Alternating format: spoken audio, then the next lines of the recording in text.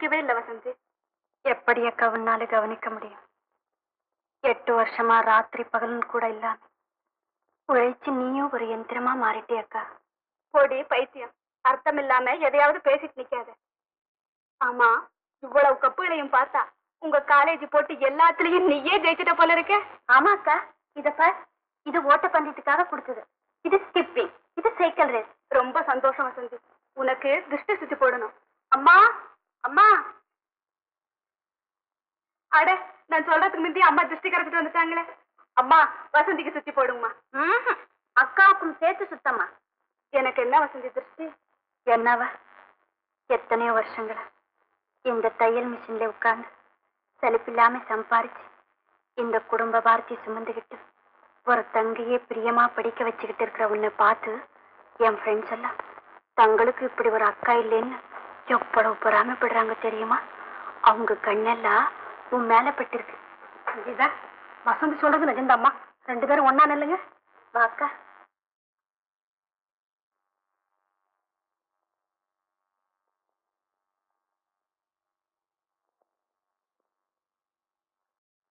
ரெண்டு பேரும் என்னைக்கு ஒருத்தரை விட்டு ஒருத்தர் பிரியாம சந்தோஷமா இருக்கணும் See, the other day, I was um, talking to you about the recommendations of the Rural Trade Survey Committee with regard to the various limitations under which our societies are working. Well, I told you how the societies have got to meet um, a square challenge from the money lenders and uh, other corporate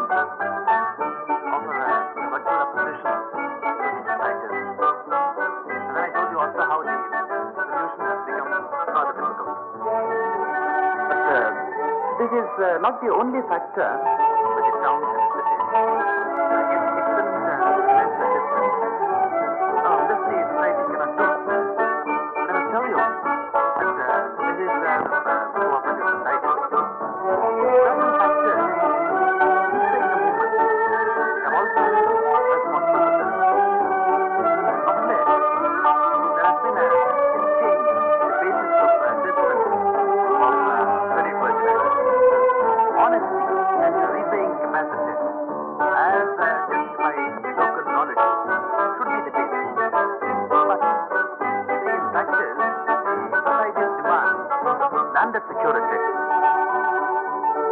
Bhaskar, the physical director wants you.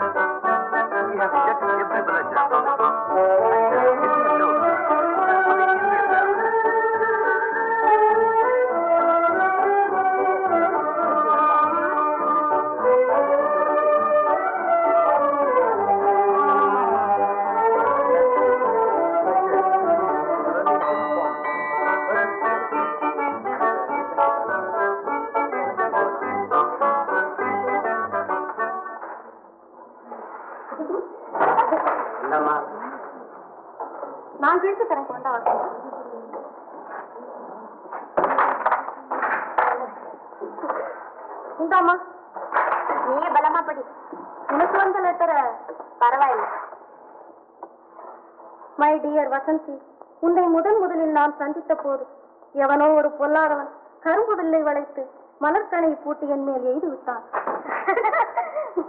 அது என் உள்ளத்தை துளைத்தது. லேசான வலி. ஆனால் அந்த வலியிலே தான் எத்தனை கொள்ள இந்த சேட்டு. காதல் என் இதய ஏட்டிலே காதலுக்கு நீ எழுதி வைத்த பொருள் எவ்வளவோ இனி உன்னை மறக்கவோ துறக்கவோ என்னால் முடியாது. உன்னை சந்திக்க துடிக்கிறேன். சந்தர்ப்பம் அளிப்பாயா? இனி என்றும் உன்னுடைய பாஸ்கர். பாஸ்கர்? பாஸ்கர். சவுந்தரா கூட அந்த லெட்டர் இந்தாம்மா. வசந்தி அது ஒரு காதல் காவியம். பத்திரப்படுத்தவை நம்மளும் தான் இருக்கும். என்னடி பிரயோஜனம்? வசந்திய பாருங்க. அவ கண்கள் தான் என்ன கவர்ச்சி. நமக்கு எதுக்கடி கவர்ச்சியும் கன்றாவியம்? படிக்க வந்தோமா இல்ல ஆண்களை மயக்க வந்தோமா?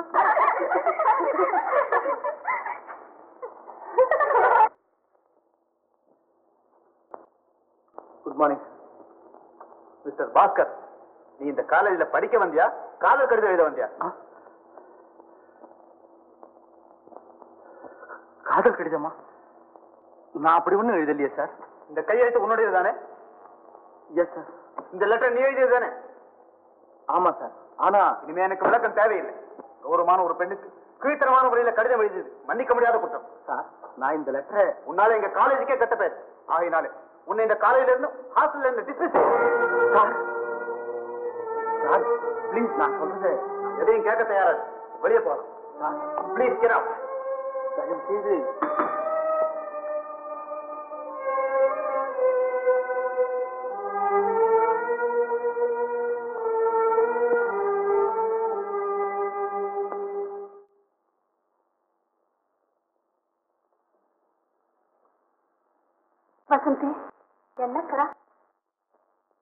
என்ன ஒரு மாதிரியா இருக்க?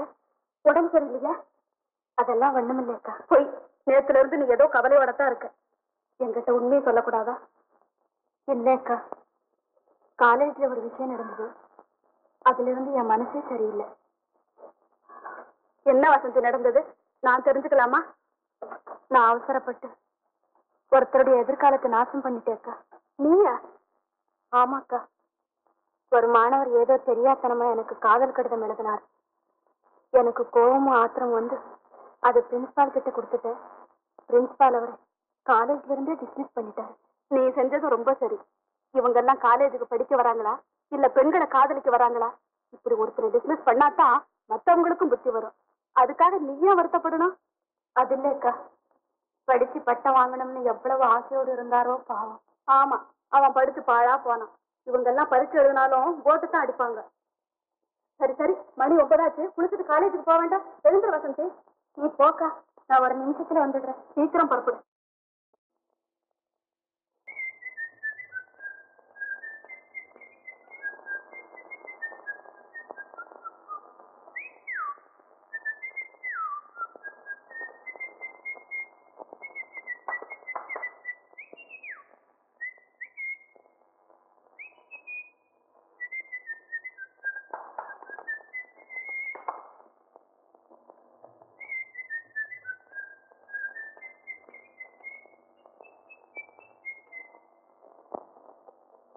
இந்தாங்க ஆமா மணி பத்தாச்சு இன்னும் நீங்க போகாமலே இருக்கீங்க ஏன் இவ்வளவு லேட்டுன்னு உங்க ஆபீஸ்ல கேட்க மாட்டாங்களா?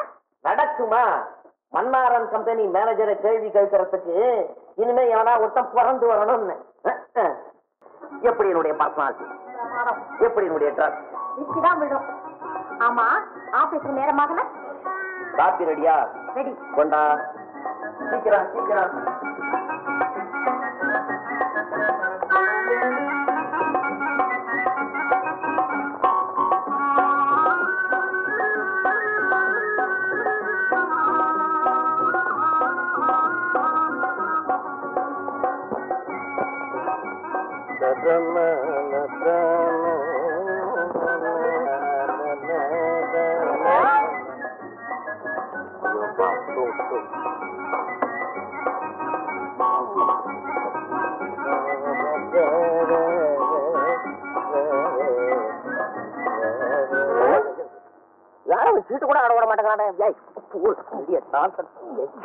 என்ன காலத்துக்கு வேலை போடுறேன் யார் அவன் கண்ட்ரி ப்ரூட் ஏய்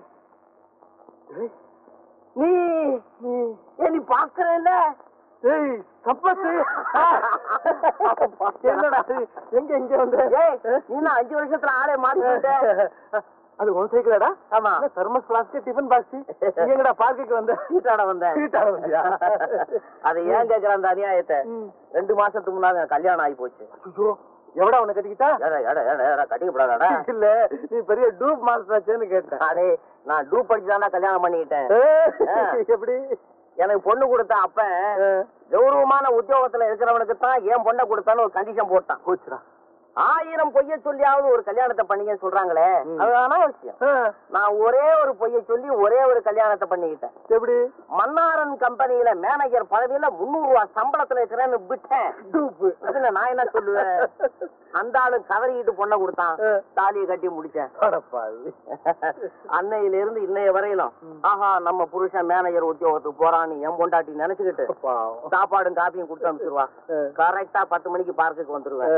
ஒரு மணி வரையிலும் சீட்டு அப்புறம் சோறு அப்புறம் அஞ்சு மணி வரையிலும் தூக்கம் அப்புறம் காபி டிஃபன் ஏழு மணிக்கு சைக்கிள்ல உட்காந்துருவேன் அப்புறம் வீடு. அவ்வளவுதான். திராவிடா டேய் ஏண்டா உன் பொண்டாட்டிகிட்ட உண்மையை சொல்லி தொலைச்சானடா? சொல்லி புள்ளாண்டா. பொய்ய சொல்லி கல்யாணம் பண்ணிக்கிட்டானேன்னு ஏமாம என் மேல கேச போட்டான்னா கட்டாயம் போடுவான். அது கரெக்ட் ஆமா டேய், நீ சொல்றத பார்த்தா நீயே சொல்லி கொடுப்ப போல இருக்க. ஆமா. நீ- என்னமோ காலேஜ்ல பிரமாதமா படிக்கிறதா கேள்விப்பட்டேனே இப்படிதான் பார்க்ல வந்து படுத்துட்டு படிக்கிறியா? அது வேற மாதிரியான கதைடா. சரி என்னன்னு தான் சொல்லேன் சாயந்தரம் அஞ்சு மணி வரணும் ஃப்ரீ சீட் அடுத்த வேணா நிறுத்திடுறேன் சொல்லு. எல்லாம் அப்புறம் சொல்றேன்ப்பா. உடனடியா இப்போ வேலை தேடி ஆகணும். என்னடா அது அந்த நல்ல சமாச்சாரத்தை என்கிட்டயா சொல்ற? நானும் வேலைக்கு தாண்டாப்பா முயற்சி பண்ணிட்டு இருக்கிறேன். ஏண்டா முயற்சியாவது பண்றியா? பின்ன டேய் நேற்று ஒரு இடத்துல வேலை இருக்குன்னு சொன்னான். அடிச்சு ஓடுனேன். அங்க போறா என்னடா படிச்சிருக்கிற? என்ன ஏது அடக்கமாவனா அப்படி இப்படின்னு கேட்கணும் உனக்கு ஹாக்கி தெரியுமா ஃபுட்பால் தெரியுமா டென்னிஸ் தெரியுமா கோல்சம் தெரியுமா ஐச்சம் தெரியுமாங்கிறான் குரங்கு பய. அடைச்சி போடான்ட்டு வந்துட்டேன்? அந்த கம்பெனி அட்ரஸ் எனக்கு ஆ. எனக்காக அந்த வேலை கிடைக்கும். நான் காலேஜ் ஸ்போர்ட்ஸ் எல்லாம் நிறைய பிரைஸ் வாங்கியிருக்கிறேன். அந்த வேலை எனக்கு கிடைச்சாலும் கிடைக்கும்டா. சரி புறப்படு.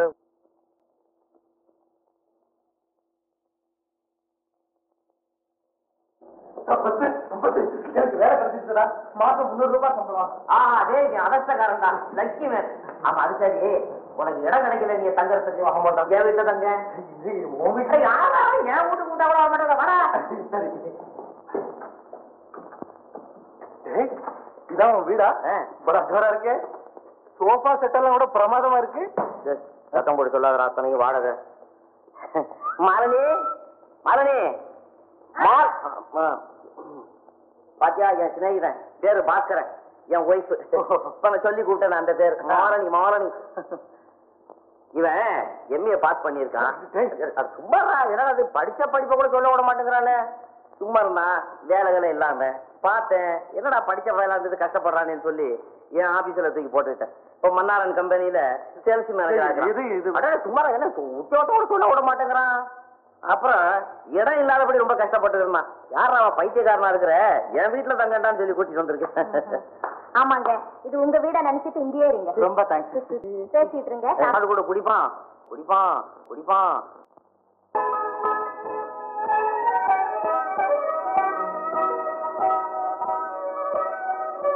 நீங்க எழுதின அந்த கடிதத்தை ஆயிரம் தடவை திரும்ப திரும்ப படிச்சு ஆனந்தப்பட்டீங்க.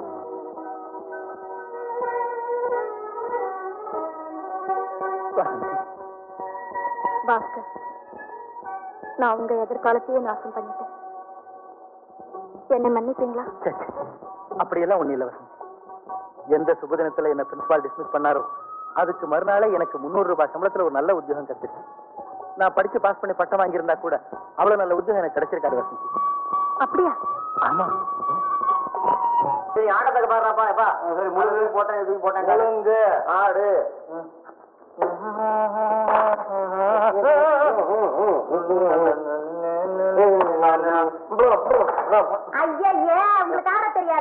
சொன்னது உங்ககிட்ட வந்து ஆட தெரியாம ஏன்னா தந்தியா கொடுத்தாங்க. இப்ப என்னமா மறந்து போச்சுது? பள்ளிக்கூடத்துல நான் தான் சாம்பியன் டேய், சும்மா வரே சாம்பியன் கூட சொல்ல விட மாட்டேங்கிறா மரியாதையா அவனை வேற வீட்டுக்கு மாத்தி போடணும். நம்மள வாயிலே இருக்கிறான் அண்ணே அடடா மாமா வாங்க வாங்க வாங்க வாங்க சரிம்மா உட்காருங்க ஊர்ல தானே இருக்கீங்க ஆமா ம். என்னங்க? இந்தாங்க. மாமா ஆ? இவர் தான் எங்க வீட்டுக்காரரு. அப்படியா? வணக்கம். வணக்கம் வணக்கம் என்னங்க? இவர் எங்க சொந்தக்காரரு. எனக்கு மாமா முறை வேணும். அடடே இவரை நான் பார்த்துருக்கேன்னா எப்போ மாப்பிள்ளை பார்த்துருக்கீங்க? என்ன இப்படி கேட்குறீங்க நான் தானே மாப்பிள்ளை கல்யாண நேரத்துல ஸ்டோர் ரூமுக்கும் பந்தலுக்கும் சமையல் கட்டுக்கும் ஓடு ஓடுன்னு ஓடி வாழைப்பழ தோல் சறுக்கி கீழே வந்து நீங்க காலை உடச்சிக்கல? கல்யாணத்துக்கே நான் வரலையே.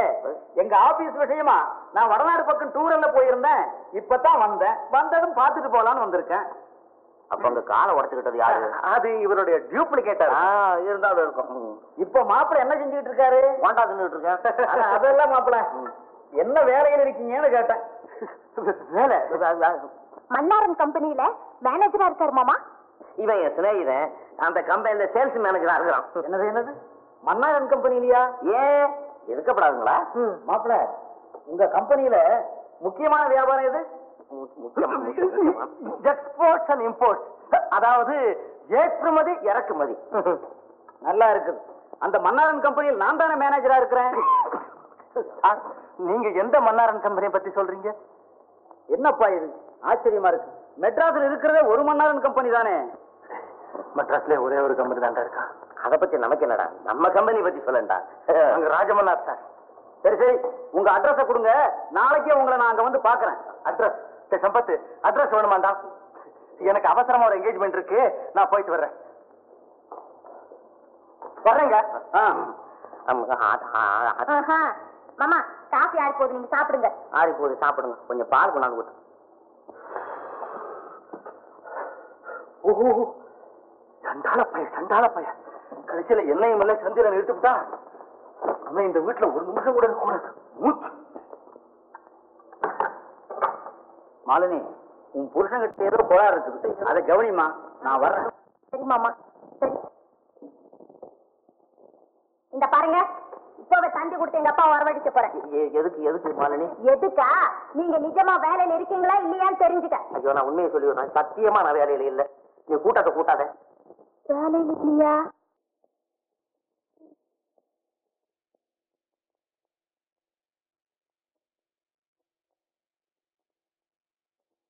என்ன பார்த்து சொல்லுங்க. நிஜமா வேலையில இல்லையா? உண்மையாதான் வேலையில இல்ல. இவ்வளவு நாளா உங்ககிட்ட பொய்ய சொல்லிட்டு வந்தேன். பொய்ய சொன்ன காரணம் என்ன? போஜனம் ஸ்டாப் ஆயிடுமேன்னு சொன்னேன். இந்த பாரு மாலினி. நான் எவ்வளவோ கஷ்டப்பட்டு தான் வேலைக்கு அலையிறேன். கிடைக்க மாட்டேங்கிறேன் நான். என்ன செய்வேன்? இந்த பாரு. நான் பத்து நாள்ல வேலை தேடிட்டு வந்தேன். ஒருவேளை காப்பி நிறுத்து இருபது நாள்ல நான் வேலையை தேடிட்டு வந்தேன். ஒருவேளை சோத்தையும் நிறுத்தி கொடு ஒரு மாசத்துக்குள்ள வேலை தேடிட்டு வரலன்னா? வெளியில நிறுத்து வெளியில நிறுத்து. வெளியில என்ன? வீதியில நிறுத்திடுவேன். நீ செய்வ நீ செய்வ. ஆமா. உங்க ஃப்ரெண்டு கூட உங்க போல ஃப்ராடு போல இருக்கே. எங்க அவரு? அவன் எங்க இங்க இருக்கிறான். அவன் பறந்து போய் பத்து நிமிஷம் ஆச்சு அவன் கொடுத்து வச்சவன் புறப்பட்டான். நான் போக முடியலையே.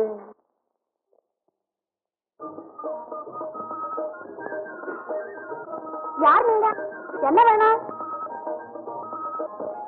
ஐயோ ஐயோ. அப்படி சொல்லுங்களே.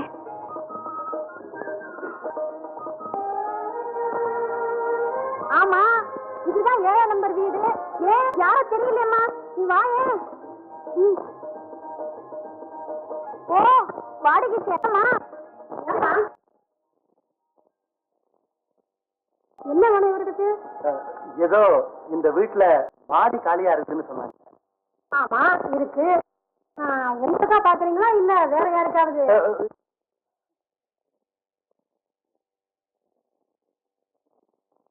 ஆமா. இவருக்கு பார்த்தா நல்ல புள்ள மாதிரி தோணுது. ஆமா நீங்க என்ன வாடகை தருவீங்க?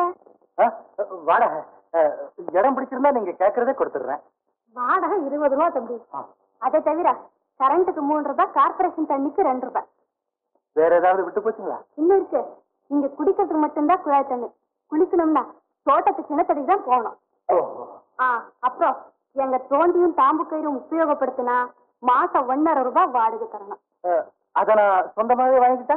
நீங்க காலி பண்றப்போ அது எங்களை செஞ்சிடும். ம். அப்புறம் இங்க காத்து சரியா வராது. பரவாயில்ல. நான் அட்ஜஸ்ட் பண்ணிக்கிறேன். ஓஹோ இங்கே கொசுத்தலை ரொம்ப ஜாஸ்தி. அஹ், என்கிட்ட வலை வச்சிருக்கிறேன் வலை. மூட்டை பூச்சி நிறைய கிடைக்குமே? எனக்கு தோல் கொஞ்சம் ரஃப் கடிச்சா அவ்வளவா தெரியாது. முதல்ல இடம் பிடிச்சிருக்கான்னு பாருங்க. இடம் எப்படி இருந்தா என்னங்க? நீங்க எல்லாம் ரொம்ப பிளைனா இருக்கிறீங்க. அதுவே எனக்கு போதும். நான் வெட்டி படிக்கோட வந்துட்டேன். இந்தாங்க அட்வான்ஸ் வாங்க வாங்க. இதுதான் உங்க ரூம்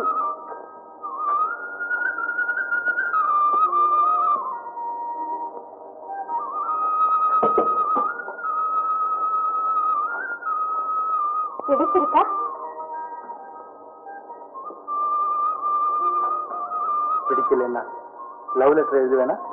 கேலியப்பா நான் அதையா கேட்டேன்?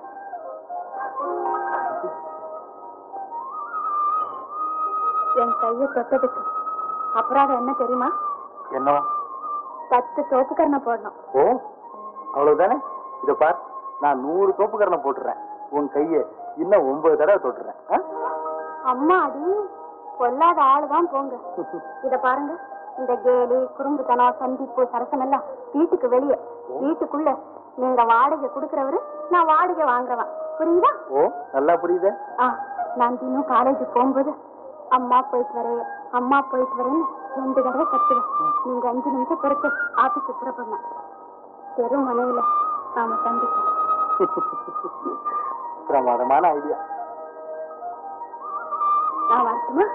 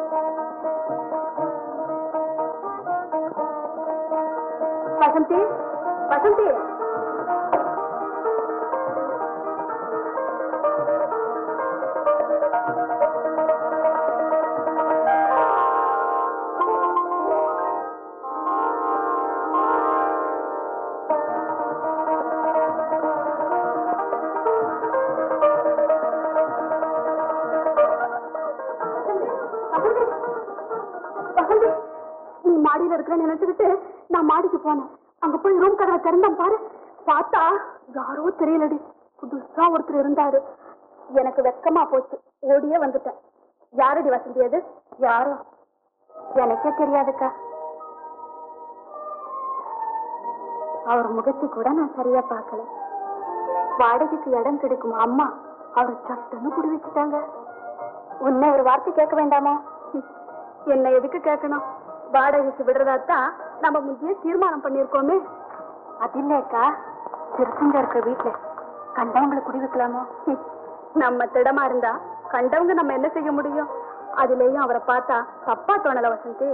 ஓஹோ நீயும் சர்டிபிகேட் கொடுத்துட்டல அப்ப எனக்கு மட்டும் என்னவா? வசந்தி நம்ம ரெண்டு பேருக்கும் ஜாக்கெட் துணி வாங்கிட்டு வந்திருக்கேன். பாத்தியா? நல்லா இருக்கக்கா. இத காட்டதாண்டி நான் மாடிக்கு போனேன். நல்ல வேலை அவர்கிட்ட காட்டாம விட்டியே. போடி.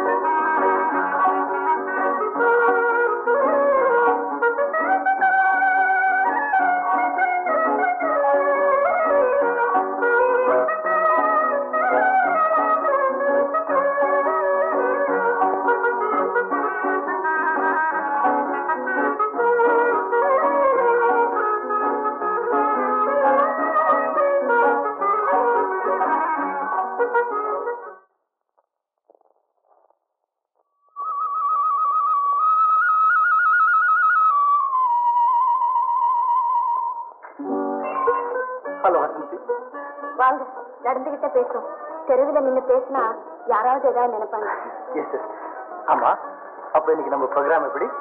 எனக்கு என்ன தெரியும்? நீங்க தான் சொல்லணும். அப்போ இன்னைக்கு சாயங்காலம் பீச்சில் மெரினா கேண்டீன் பக்கத்துல சந்திப்போம். அங்க வந்து அப்புறம் எல்லாம் சொல்றேன். ஓ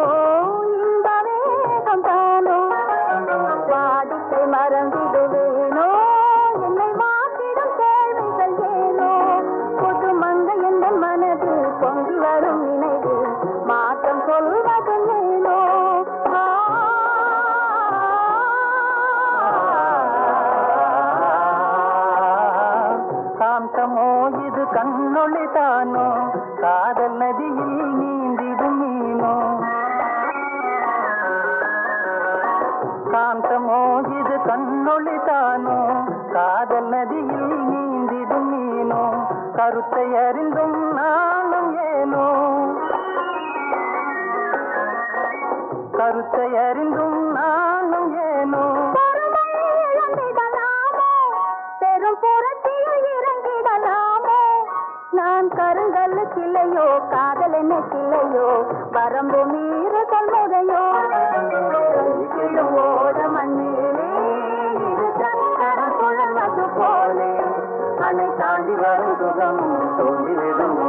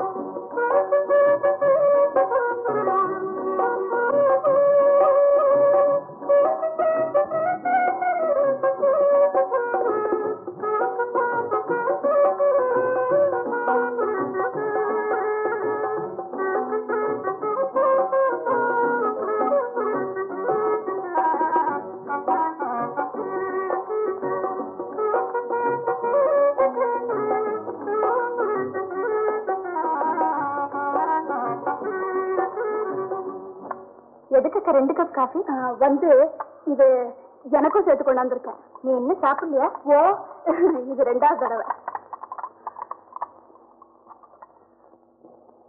வசந்தி பாவம் மாடியில இருக்கிறவர் காஃபி சாப்பிட்டாரா இல்லையோ? வேணும்னா இதை கொண்டு போய் கூட. நல்லா இருக்கக்கா. அவர் சாப்பிட்டா நமக்கு என்ன? சாப்பிட்டாக்க நமக்கு என்ன? குடியிருக்கவங்களுக்கு காஃபி டிஃபன் கொடுத்தா நமக்கு கட்டுப்படி ஆகுமா? அவர் கொடுக்குற வாடகை இடிக்க போதாதே. வாஸ்தவம் தான் வசந்தி. ஏதோ தோணிச்சு சொன்னேன். அவ்வளவுதான்.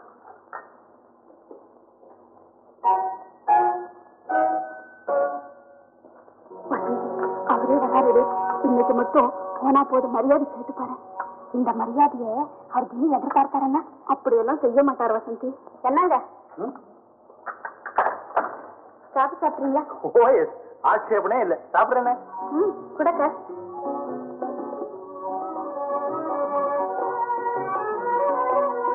சாப்பிடு. தேங்க்ஸ்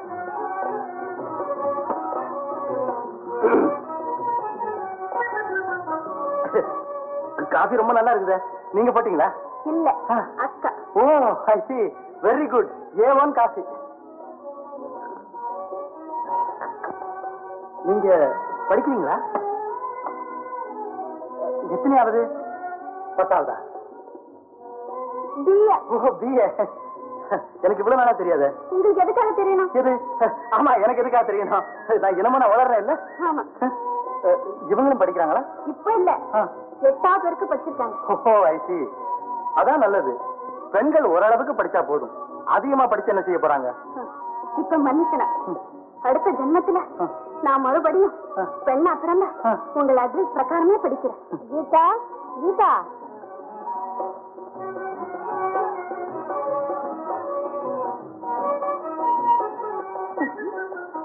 வேடிக்கை பார்த்துட்டு நிக்கிறீங்க. போய் வேலையை பாருங்க. சரி, போறேன் இந்தாங்க.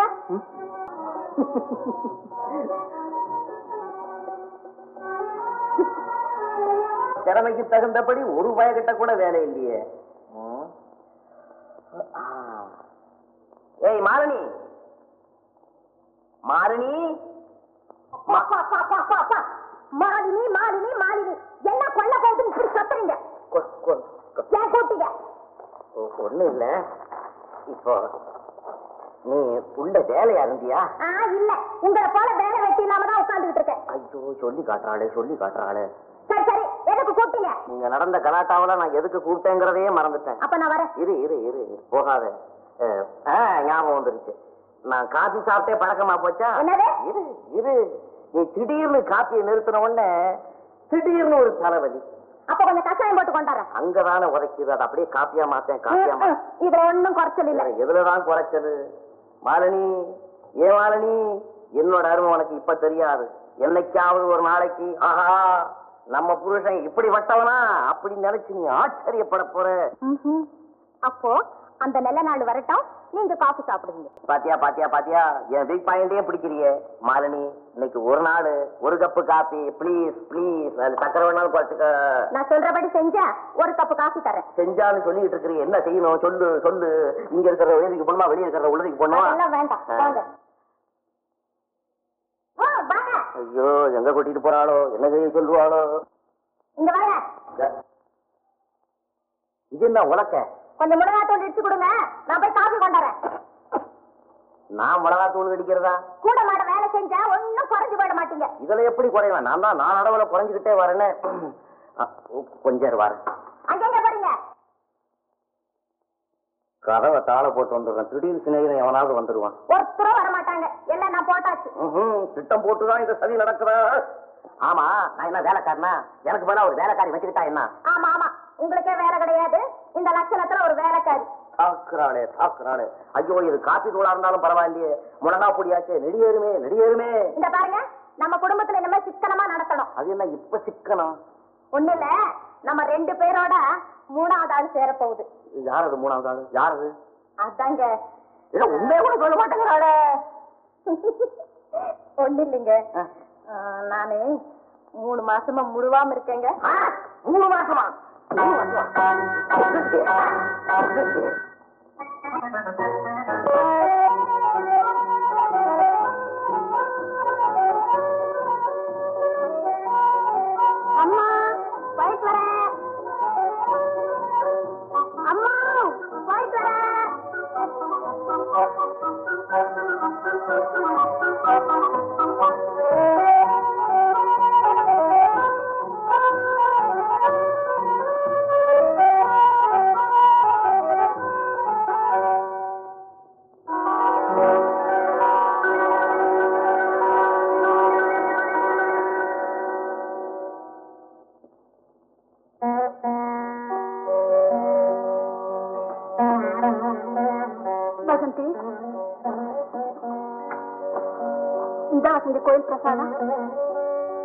பாஸ் ஆயிட்டா இருக்கு. அப்போ போவே சொல்லி வச்சிருக்க ஓ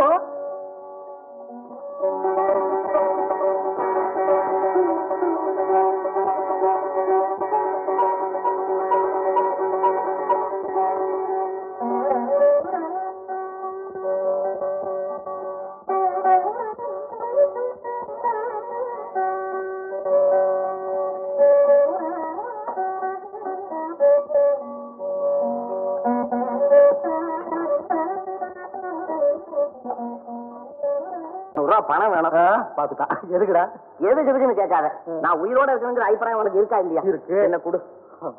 சரி இந்த இருநூறு. ஏய். இது- நல்ல நோட்டா கள்ள நோட்டா? பாரு ஏன்டா அந்த சந்தேகம்? இல்ல கொஞ்சம் நீரோட்டம் கம்மியா இருக்கு. உன் கண்ணில் தான் நீரோட்டம் கம்மி. ஏங்க அங்க அந்த நூறு எடு. ஏன்? எடு பாப்போம். இந்த. இது இருநூறா? ஆமா. இது நூறு. சாரி அதை எடுத்து ரொம்ப கலக்கு பண்ண மாதிரி தான். உண்மையிலேயே கடைசி போய் தான் வந்திருக்கிறேன். அந்த விசிறியை கொண்டாந்து வீசு. இந்த ஓட்ட அதிகாரத்துல ஒன்னும் குறைச்சல் இல்ல. போன காரியம் என்னாச்சு? இந்த பார் உனக்கு புதுசா அட்வைஸ் பண்ண விரும்புறேன். புருஷங்காரன் வெளியில போயிட்டு வந்தோடனே வாங்க உட்காருங்க சாப்பிடுறீங்களா குளிக்கிறீங்களா முழுகிறீங்களா படுத்து தூங்குறீங்களான்னு அன்பா கேட்கணும். அதை விட்டுட்டு இப்படி எல்லாம் கேவலமா பேசப்படா தெரியுமா? இந்தா இந்த இருநூறு ரூபாய் கொண்ட பொட்டியில வையே. இருநூறு ரூபாவா? ஏன் சந்தேகமா இருக்குதா? இல்லன்னா கண்ணை கழுவிட்டு பாரு. ஏது? வேலை கடிச்சு போச்சா? அடடடடடடடா, வேலை வேலை வேலை வேலை ஒருத்தங்கிட்ட கைய கட்டி நின்னு பதில் சொல்ற உத்தியோகம் அது ஒரு உத்தியோகமா? எவன் ஒருத்தன் சுதந்திரமா வாழறானோ அவன் தான் மனுஷன். அந்த ரேங்க்ல நான் தான் ஃபர்ஸ்ட் எனக்கு ஒண்ணுமே புரியலையே. புரியலையா? இப்படி உட்கார சொல்றேன். பைரவனை தெரியுமா? தெரியுமே.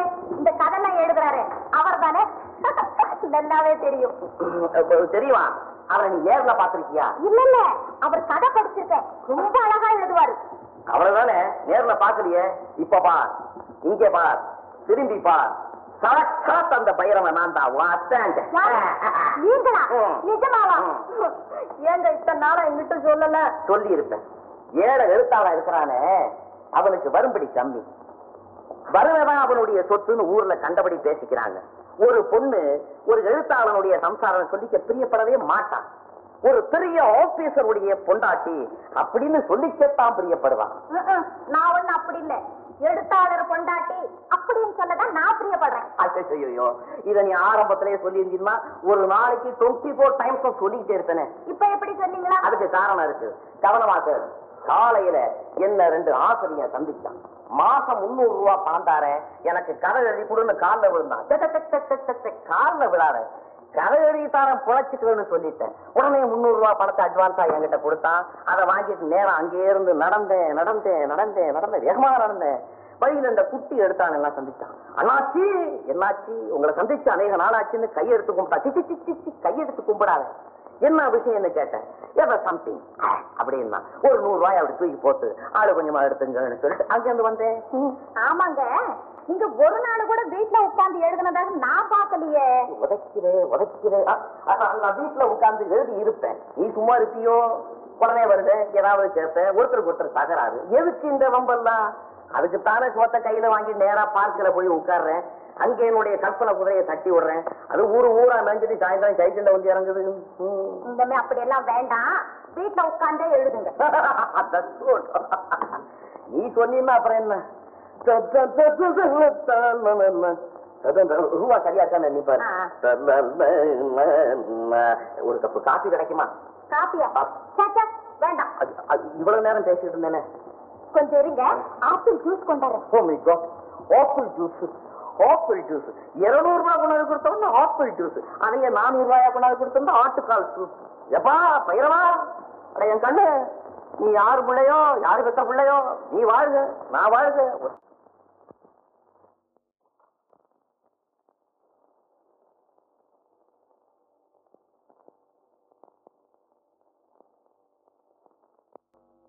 வணக்கம் வணக்கம்.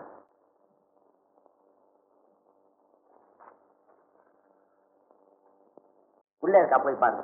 உங்களை பார்க்கத்தான் வந்தோம். என்ன பார்க்கவா? ஆமா உங்க கதையென்னா எங்களுக்கு ரொம்ப பிடிக்கும். ஓ அந்த கதை ஆரம்பமா? சரி உட்காருங்க உட்காருங்க காஃபி எப்படி சாப்பிடுறீங்களா? என்னத்துக்கு வீட்டில் சாப்பிட்டு வந்திருப்பீங்க? ஆமா நான் கதை எழுதுறதா யார் சொன்னா உங்ககிட்ட? இந்த மிஸ்ஸஸ் மாலினி தான் சொன்னா. அவ எங்களோட ஃப்ரெண்டு நீங்க தான் பைரவங்கிறது அவளுக்கு இப்பதான் தெரியுமாமே?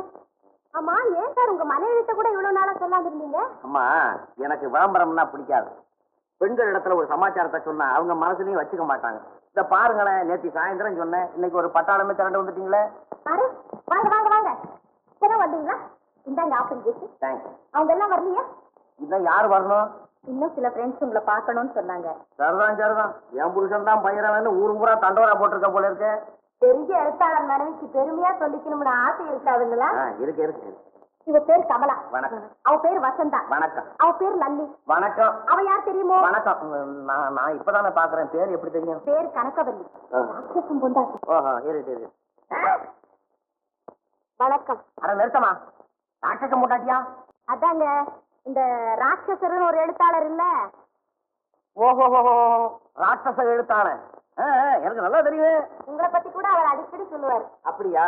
நான் சொல்லியிருப்பார் சொல்லியிருப்பார் ஏன்னா அவர் நானும் ரொம்ப சிநேகிதம். அடிக்கடி நேர்ல சந்திக்கலைன்னாலும் செலவுல வந்து படா தொல்லை கொடுப்பார். ஆனா நல்ல மனுஷன். ஆ. உங்களுக்கு சோக கதை எழுத தெரியுமா ஹாஸ்ய கதை எழுத தெரியுமா அது கல்யாணத்துக்கு முன்னால ஆட்சி கதை எழுதிக்கிட்டு இருந்தேன். கல்யாணம் ஆனதுல இருந்து ஒரே சோகம். ஏன் சார்? போராட்டம்னு ஒரு கதை எழுதினீங்க. ஞாபகம் இருக்குதா? ஆமாமா எழுதுனேன் அது பெரிய போராட்டமாச்சே. அதுல கதானா ஏன் சார் கடைசியில் தற்கொலை பண்ணீங்க கடைசியில தானே தற்கொலை பண்ணிக்கிட்டான். ஆளை விடுங்க. என்ன செய்யறது? அவன் தலை எழுத்து அப்படி. செத்தான் என்னங்க கதம்ப மாலைங்கிற பத்திரிகையில ஒரு நாவல் பரிசு போட்டி வச்சிருக்காங்களே அதுல நீங்க கலந்துக்க போறீங்களா? இதுவரையிலும் கலந்துக்கிறதா யோசனை இல்ல. இதுவரை கலந்துக்கிறத பத்தி ஆட்சேபனை இல்ல. நான் கலந்துகிட்டா ஏகப்பட்ட எழுத்தாளர்கள் ஏமாந்துருவான் முதல் பரிசு பத்தாயிரம் ரூபாய் சார். எழுத்தாளர்களுக்கு தானே? பத்தாயிரமா என்னங்க கண்டிப்பா நீங்க போட்டியில கலந்துக்குங்க. நீங்க கலந்துக்கிட்டா கண்டிப்பா முதல் பரிசு உங்களுக்கு தான். அப்படியா? நீங்க ரொம்ப ஈஸியா சொல்லிட்டீங்க. சரி இன்னைக்கே சிந்தனையை ஸ்டார்ட் பண்ணி விடுறேன். ஆமாங்க. நாங்களும் உங்களை டிஸ்டர்ப் பண்ண விரும்பல.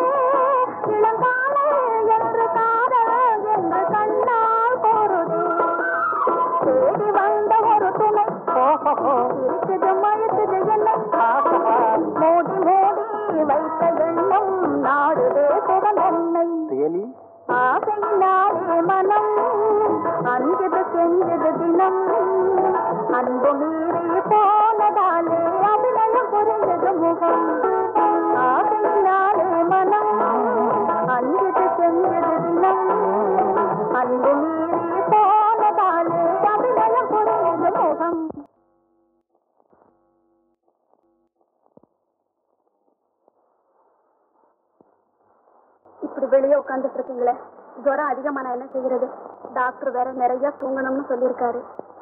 தூக்கம் வரமாட்டேங்குது. உங்களுக்கு பாருமா?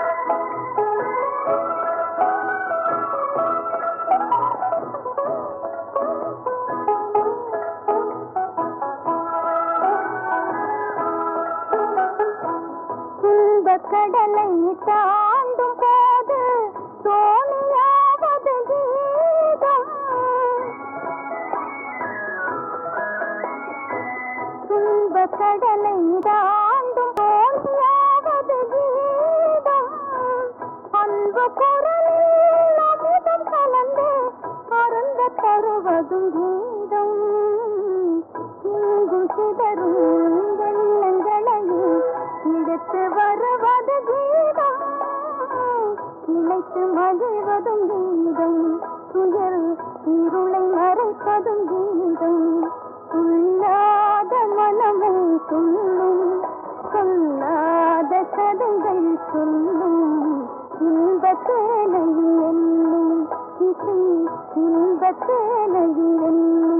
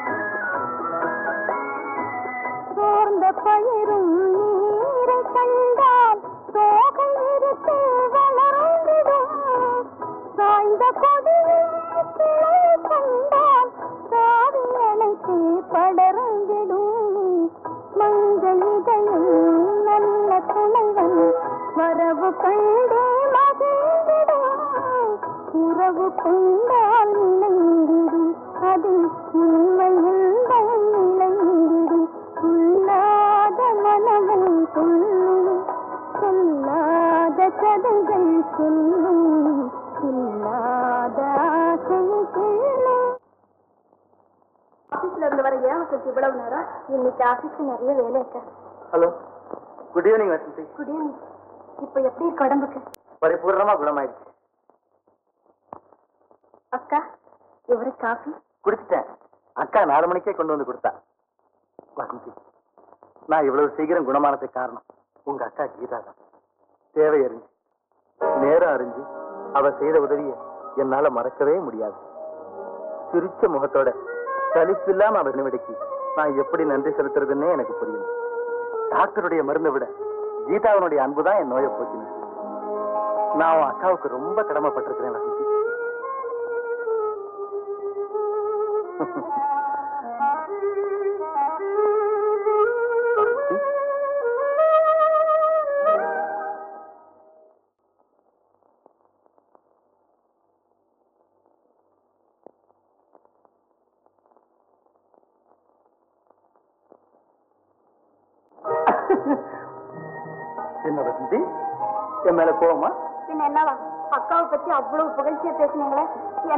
ஒரு வார்த்தை பேசுனீங்களா? அதுக்கு தான் இவ்வளவு கோவம் இங்க பாரு வசந்தி உன்னை பத்தி ஒரு வார்த்தை என்ன? ஒரு ஆயிரம் வார்த்தை ஒரு லட்சம் வார்த்தை இப்பவே சொல்லிடுறேன்? எண்ணிக்க கண்ணி கண்ணி ரசமி கற்கண்டி காதல் பொக்கிஷமே. என் ஆரிய காதலி? அப்போ உனக்கு மேல போய் கோவம் தானே? நிஜ கோவத்தையும் பொய் கோவமா மாத்திர சாகத்தை நீங்க தான் நிறைய கத்து வச்சுக்கிட்டு இருக்கீங்களா? சரி போனது போகட்டும். இப்ப நம்ம கொஞ்சம் சீரியஸா பேசுவோம். நம்ம கல்யாணம் இப்போ அடே அப்பா அதுக்குள்ள என்ன அவசரம் இத பாருங்க அக்கா கல்யாணம் முடிச்சதுக்கு அப்புறம் தான் நம்ம கல்யாணம். எனக்கு என்னம்மா இப்ப கல்யாணத்துக்கு அவசரம்? நல்லா தான் இருக்குப்போ உனக்கு என்ன வயசு கொஞ்சமாச்சுன்னு நினைச்சிட்டு இருக்கியா? உனக்கு பின்னாடி வசந்தி வேற இருக்கா? இத பாரும்மா பையன் கண்ணுக்கு பார்க்க லட்சணமா இருக்கானா வயசு முப்பது ஆச்சான் ரயில்வேல நூத்தி நாற்பது ரூபாய் சம்பளத்துல இருக்கானா நம்ம அந்தஸ்துக்கு இதை விட நல்ல வரம் கிடைக்கவே கிடைக்காது. அடுத்த வாரம் அவங்க பொண்ணு பார்க்க வர போறாங்களாம். கடவுள் புண்ணியத்துல எல்லாம் ஒத்து வந்தா அடுத்த மாசம் அவன் கல்யாணத்தை முடிச்சிடலாம்னு நினைக்கிறேம்மா. வெரி குட் அம்மா கல்யாணத்தை கண்டிப்பா முடிச்சிட வேண்டியதா ஏம்மா மாப்பிள்ளை பிடிச்சிருக்காரா? ஓ அழகா இருக்காரா? ம். நீ சொன்னா நான் நம்ப மாட்டேன். மாப்பிள்ளை வர சொல்லு அக்காவுக்கு தகுந்த ஜோடியான நான் பார்த்து தீர்மானம் பண்றேன். ம்? சரி சரி. போடி அரட்ட. அக்கா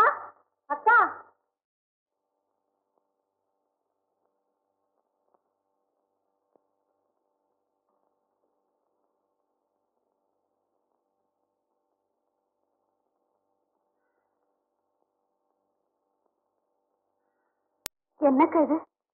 கல்யாணம் சொன்ன உடனே நீ வெக்கப்பட்டு ஓடி வந்திருப்பேன்னு நினைச்சா?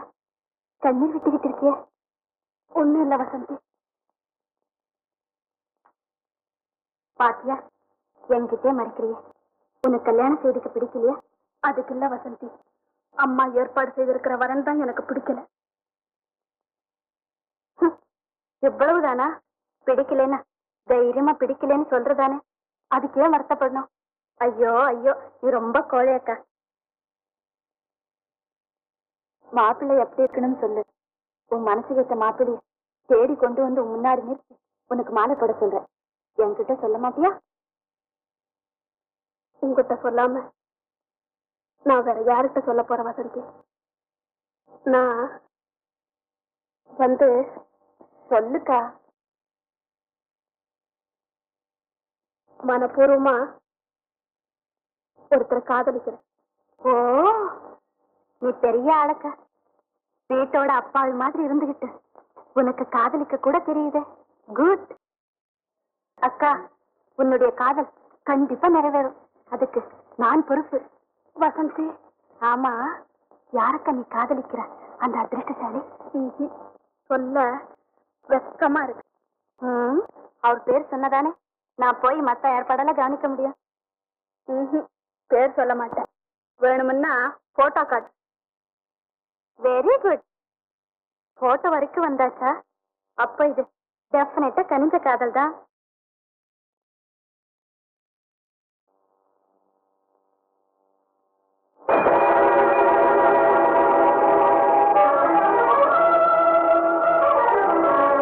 வசந்தி முதல் முதல்ல நான் அவரை சந்திக்கிறப்பவே என் மனசு அவருக்கு பறி அவர் உடல்நிலை சரியில்லாம இருந்தபோது அவருக்கு சேவை செய்யற பாக்கியம் எனக்கு கிடைச்சது அவரோடு பழகினேன். அவருடைய அன்பும் ஆதரவும் என்னை அவருக்கு அடிமையாக்கிது அவர் என் இதய கோவிலிலே தெய்வமாகிவிட்டார் வசந்தி. அவரு உன்னை காதலிக்கிறாரா? காதலிக்கிறார் தான் நினைக்கிறேன். அவர் என்ன விரும்பலேனா? எனக்கு வாழ்வே கிடையாது வசந்தி. என்னுடைய இந்த ஒரே ஆசை கடவுள் நிறைவேற்றி வைப்பாருன்னு நம்பிக்கையோட இருக்கு இந்த நம்பிக்கை நாசமான என்னுடைய இதயம் வெடிச்சிடும்.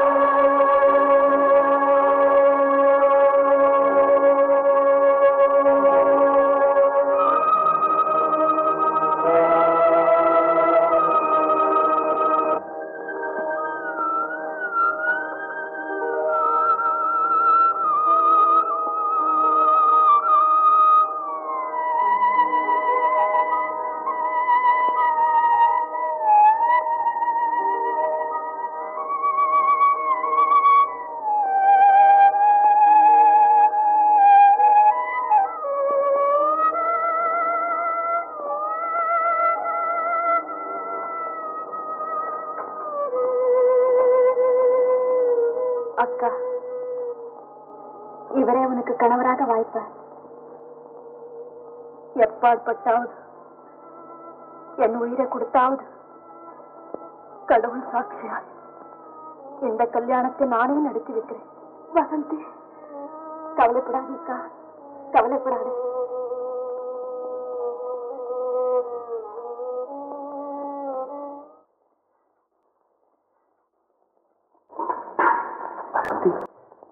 உங்ககிட்ட ஒரு முக்கியமான சமாச்சாரம் சொல்லணும்.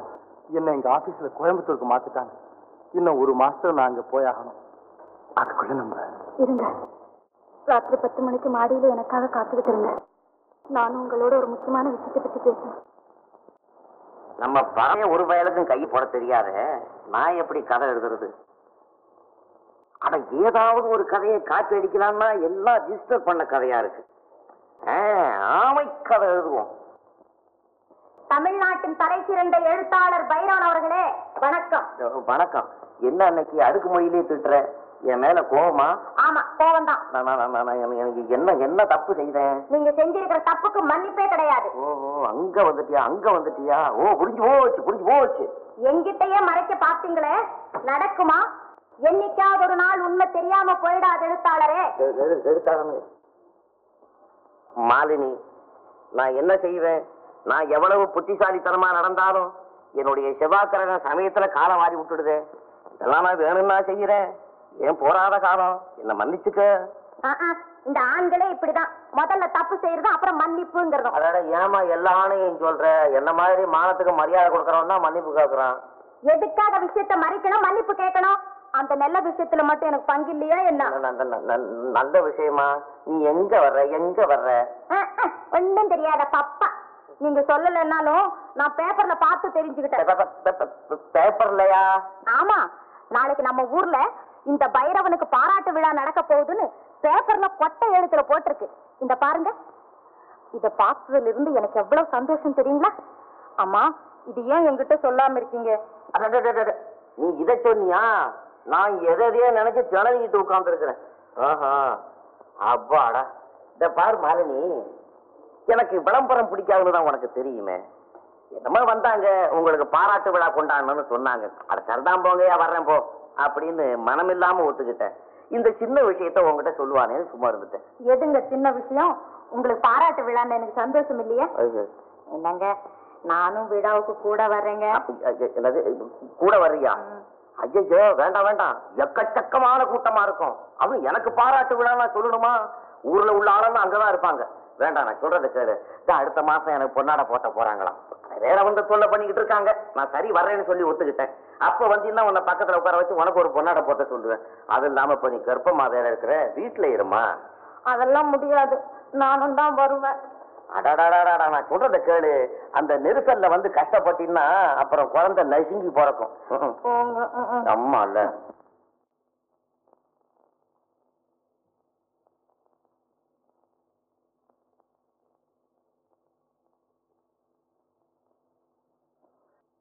வசந்தி உன் வருகையை தான் எதிர்பார்த்துக் கொண்டிருந்தேன்.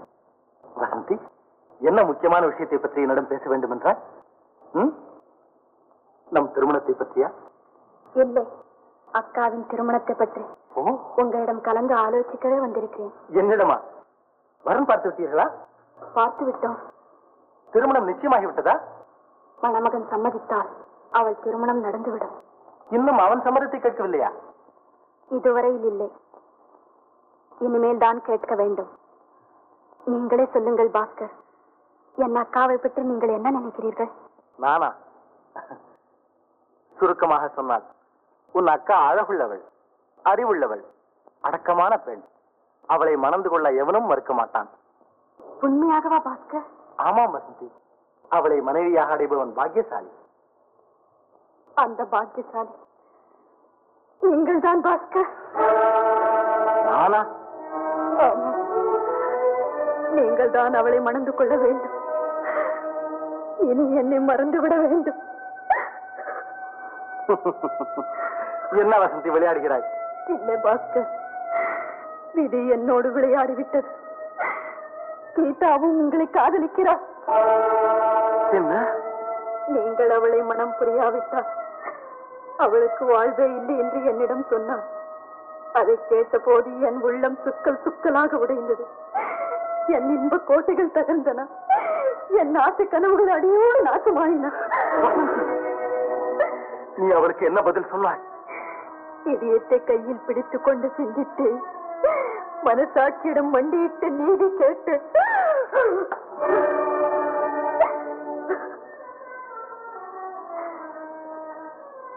பாஸ்கர் எட்டு வருடங்கள் எனக்காக ஓய்வின்றி உழைத்தவள். என்னை தன் கண்ணின் மணி போல் காப்பாற்றி வளர்த்தவள். என்னை சீராட்டியவள். பாராட்டியவள். தனக்கென்ன வாழாமல் எனக்காக வாழ்ந்தவள். என் ஆசைகளை நிறைவேற்ற தன் ஆசைகளை தியாகம் செய்த உத்தம பெண்ணவன் தன் வாழ்க்கையிலேயே முதல் தடவையாக தான் விரும்புவதை பாஸ்கர் நீங்களே சொல்லுங்கள். நீங்கள் இந்த நிலையில் இருந்தால் என்ன பதில் சொல்லுவீர்கள்? வசந்தி நாம் ஒருவரை ஒருவர் நேசிக்கிறோம் என்று அவளுக்கு தெரியாதா? தெரியாது பாஸ்கர் தெரிந்திருந்தால் அவள் தன்னுடைய காதலை வெளியிடாமல் அதை தன் உள்ளத்தின் அடித்தளத்தில் புதைத்து விட்டு உங்களை எனக்காக விட்டு கொடுத்திருப்பாள். அத்தகைய உயர்ந்த மனப்பான்மை கொண்டவள் அவள். வசந்தி நம்முடைய காதலை பற்றி அவளிடம் தெரிவித்திருக்கலாமே வசந்தி. தெரிவித்திருக்கலாம். ஆனால் தன் மனதை திறந்து எண்ணத்தை வெளியிட்ட பிறகு நான் இதை சொன்னால் என்னை பற்றி அவள் என்ன நினைப்பாள்? தன் வாழ்விலை குறிக்கிடும் வஞ்சகி என்றுதானே அவள் உள்ளம் நினைக்கும்? நன்றி மறந்தவள் என்றுதானே அவள் நெஞ்சம் துடிக்கும்? அப்படியானால் நீ செய்த முடிவு என் உயிரினும் மேலாக நேசித்த உங்களை. என் உள்ள கோவிலில் வைத்து பூஜித்த உங்களை. அவளுக்கு அர்ப்பணம் செய்ய தீர்மானித்து விட்டேன் பாஸ்கர். முடியாது முடியாது. உன் தீர்மானத்தை என்னால் ஒப்புக்கொள்ளவே முடியாது. உன்னை இழந்து ஒரு நிமிடம் கூட என்னால் வாழ முடியாது. வசந்தி நம்மால் வளர்க்கப்பட்ட தூய காதலை நீ பறித்து விடாதே. உன்னால் உருவாக்கப்பட்ட அன்பு கோவிலை நீ இடித்து விடாதே. என்னை ஏமாற்றி விடாதே வசந்தி. ஏமாற்றி விடாதே. விதியின் வலிய கரங்களிலே என் பிஞ்சு உள்ளம் சிக்கி சீரழிந்து விட்டது. என் காதல் செத்து விட்டது பாஸ்கர். நான் உணர்ச்சியற்ற மரமாய் உள்ளமிழந்த கற்சிலையாய் உயிர் ஒன்றை தவிர அத்தனையும் இழந்து விட்ட அபலையாகிவிட்டேன் பாஸ்கர். ஆகவே என்னை மறந்து விடுங்கள் என் அக்காவை ஏற்றுக்கொள்ளுங்கள். உங்களை மனமுடித்து வைப்பதாக அவளிடம் வாக்குறுதி அளித்து விட்டேன் தயவு செய்து அதை நிறைவேற்றுங்கள். அப்படியானால் நீ எனக்கு அளித்த வாக்குறுதி? என் கூட பிறந்தவளுக்காக அதையும் தியாகம் செய்து விட்டேன் வசந்தி உன் அக்காவிற்காக இந்த மகத்தான தியாகத்தை நீ செய்யலாம். நான் எதற்காக செய்ய வேண்டும்? தேவையில்லைதான். ஆனால் இனி எக்காரணத்தை கொண்டு நான் உங்களை மணக்க முடியாத நிலையில் இருக்கிறேன். பாஸ்கர் என்னை மறப்பதற்காக நீங்கள் எவ்வளவு ஒருவளை மனப்புரியத்தான் போகிறீர்கள். அந்த எவ்வளவு ஒருவளாக ஏன் என் அக்கா இருக்கக்கூடாது என்றுதான் உங்களிடம் யாசிக்கிறேன். பாஸ்கர் என் அக்காவிற்கு சந்தோஷத்தையும் எனக்கு ஆத்ம திருப்தியும் அளிக்க வேண்டும் என்றுதான் உங்களை கேட்டுக்கொள்ளுகிறேன் நீ என் மீது சுமத்தும் பாரத்தை என்னால் தாங்க முடியாது வசந்தி. எதையும் தாங்கும் இதயம் வேண்டும் என்று நீங்கள் அடிக்கடி சொல்லுவீர்களே. அதற்காக கொண்ட ஆசைகளையும் கண்ட கனவுகளையும் நிர்மூலமாக்கிக் கொள்வதா? ஆசைக்காக வாழாமல் கடமைக்காக வாழ்பவள் தானே பெண்? அந்த இனத்தில் நான் பிறந்து விட்டேனே. அந்த பெண்மைக்கு நான் மதிப்பு கொடுக்க வேண்டாமா? கடமைக்காக கண்ணை மூடிக்கொண்டு பாழுங்கிணத்தில் விடலாமா வசந்தி? அதையும் நான் தியாகம் என்று ஏற்றுக்கொள்ளுகிறேன் நீயும் இந்த மாபெரும் தியாகத்தினால் உனக்கு யாராவது சிலை வைத்து கும்பிடப் போகிறார்களா? மனசாட்சியை மதித்து வாழ்பவர்களுக்கு அந்த புகழ் தேவையில்லை. பாஸ்கர் என் கோரிக்கையை நிறைவேற்றினார் என் வாழ்நாள் முழுதும் உங்கள் நினைவோடு வாழ்வேன். நான் சாகும் போது உங்கள் நினைவோடு சாவேன். சொல்லுங்கள் பாஸ்கர் சம்மதம் என்று சொல்லுங்கள் பாஸ்கர். ஐயோ வசந்தி என்னை சித்திரவதை செய்கிறாயே? பாஸ்கர்! என் கண்ணீரால் உங்கள் பாதங்களை கழுவுகிறேன். உங்கள் அன்பிலே தூய்மை இருந்தால் உங்கள் இதயத்திலே இரக்கம் இருந்தால் உங்கள் உள்ளத்திலே கருணை இருந்தால் அழிந்து போகும் ஒரு குடும்பத்தை காப்பாற்றுங்கள் பாஸ்கர். வசந்தி உன் கண்ணீருக்கு காணிக்கையாக என் வாழ்வையே அர்ப்பணிக்கிறேன். நீ என்னை வென்று விட்டாயம்மா? வென்று விட்டாய் பாஸ்கர் என்னை பெற்ற தாயை விட என்னை படைத்த தெய்வத்தை விட மேலான தெய்வம் கண் கண்ட தெய்வம். நீங்கள் தான் பாஸ்கர் நீங்கள் தான்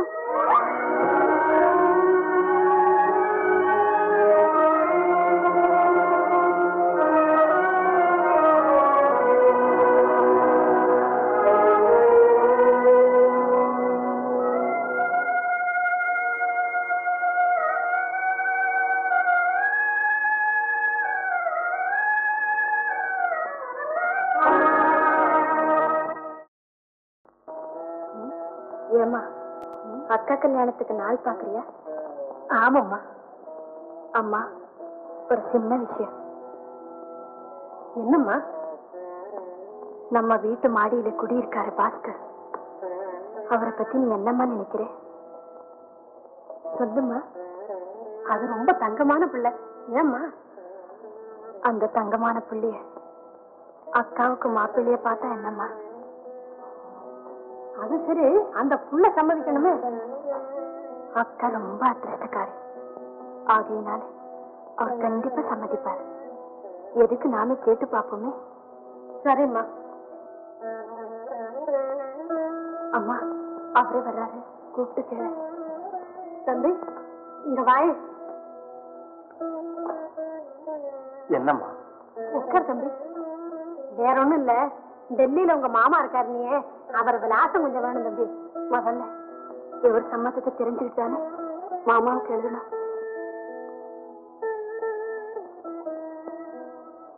சம்மதம்மா அதாவது நீங்க இந்த வீட்டு மாப்பிள்ளைய?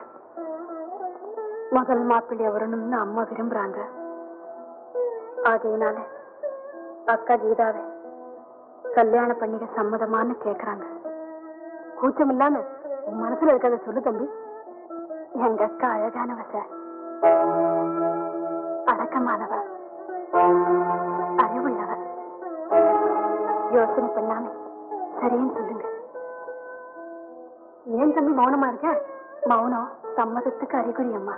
தம்பி வெளிப்படையா சொன்னத்தனமா நல்லா இருக்கும் சொல்லுங்க சார் சொல்லுங்க. அம்மா நீங்க பார்த்து எது செய்தாலும் சரி.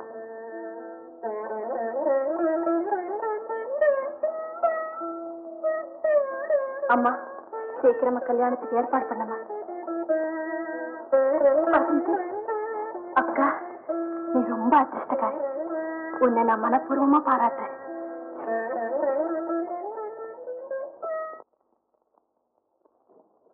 என்னங்க விழாவை புறப்பட நேரமாகல? புறப்படுங்க சீக்கிரம். புறப்படுங்க. ஆஹா இன்னைக்கு உங்க ட்ரெஸ் ரொம்ப அழகா இருக்குங்க. இன்னைக்கு உங்களை நிறைய போட்டோ எடுப்பாங்கல்ல? ஆமா. எனக்கு ஒரு நாலஞ்சு போட்டோ வாங்கிட்டு வந்து கொடுங்க அவனை எல்லாம் போய் பிச்சைக்காரத்தனமா கேட்டுக்கிட்டு. பத்திரிக்கையில எவ்வளவு வரும் அதை வெட்டி வச்சுக்கிட்டா போகுது. அது சரி. இன்னைக்கு மேடையில பேசுறதுக்கு ஏதாவது பிளான் பண்ணி வச்சிருக்கீங்களோ? ஐயோ காலையில இருந்து அதே பிளான் தானே. மண்டையை உடைச்சுக்கிட்டு இருக்கேன். அப்படியா. இந்தாங்க இந்தாங்க. இதோ. புறப்படுங்க. என்னங்க செஞ்சிருங்க. அச்சோ எங்க ஓடுறான் அட பைரவா. இவ்வளவு என்ன காப்பாத்துற மாதிரி இந்த நேரமே என்ன காப்பாத்திடுறா பைரவா. எங்க? இப்படி கொஞ்சம் திரும்புங்க. என்ன மாலினி ஆராய்ச்சி எல்லாம் எதுக்கு? நான் என்ன யுத்தத்துக்கா போறேன்? என்னங்க இது? நல்ல காரியத்துக்கு போகும்போது இப்படி எல்லாம் பேசுறீங்க? நானா பேசுறேன் அது தானா வருதே? ஆமா இவங்க ஏன் கார் அனுப்பல? யாரு கா யாரு காரணத்துல அதான் இந்த விழா ஏற்பாடு பண்ணாங்களே. ஆமா ஏன் அனுப்பல? என்ன தைரியம்? என்ன அனாவசியத்தை பாத்தியா? போகாம இருந்துவோம் வா சொல்றேன். ஐயா இதுக்காக விழா போகாம இருக்கலாமா? ஒரு டாக்ஸி வச்சுட்டு போயிடுங்க. டாக்ஸிலையா எனக்கு இருக்கிற பேருக்கும் புகழுக்கும் நான் டாக்ஸில போனா என்ன மதிப்பாங்களா? அடி பைத்தியக்காரி போனா சொந்த கார்ல போகணும் இல்ல சிம்பிளா போகணும். இப்ப நான் இருக்கிற நிலைமைக்கு எப்படி போக முடியும்? சிம்பிளா போறேன் சரி சரி சீக்கிரமா புறப்படுங்க நேரம் ஆகுது புறப்புறேன் என்ன இது புறப்படுறோம் புறப்படுறோம் நின்னுட்டே இருக்கீங்க புறப்படுங்க சீக்கிரமா வேற ஒண்ணு இல்ல அவ்வளவு பெரிய கூட்டத்துல நான் ஒண்டி எப்படி சமாளிக்கிறதுன்னுட்டு ஃபீல் பண்ணிக்கிட்டு இருக்கிறேன்.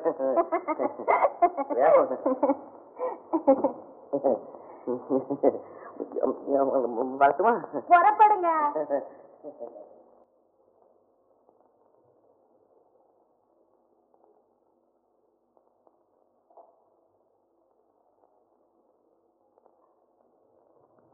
என்ன மாலினி? என்ன மட்டும் சீக்கிரம் வர சொல்லிட்டு நீ இன்னும் ரெடி ஆகலையே. அவர் இப்பதான் போயிட்டு இருக்கிறாரு. சீக்கிரம் வா போலாம். தமிழ்நாட்டின் தலைசிறந்த சிறுகதை எழுத்தாளர் ஸ்ரீமான் பைரவன் அவர்களை இப்போது நான் உங்களுக்கு அறிமுகப்படுத்தப் போகிறேன். எங்கடி மாலினி? உன் வீட்டுக்காரர் மேடையில காணோம். போடி. அவர் திடீர்னு மேடைக்கு வந்து எல்லாரும் ஆச்சரியப்படும்படி செய்ய போறார் பாரு. இவர்தான் ஒப்பற்ற சிறுகதை எழுத்தாளர் ஸ்ரீமான் பைரவன் அவர்கள். நமது சங்கத்தின் சார்பாக இந்த மலர் மாலை இவருக்கு சூட்டுகிறேன். மாலினி அவர் வீட்டுக்கு வர சொல்றேன்.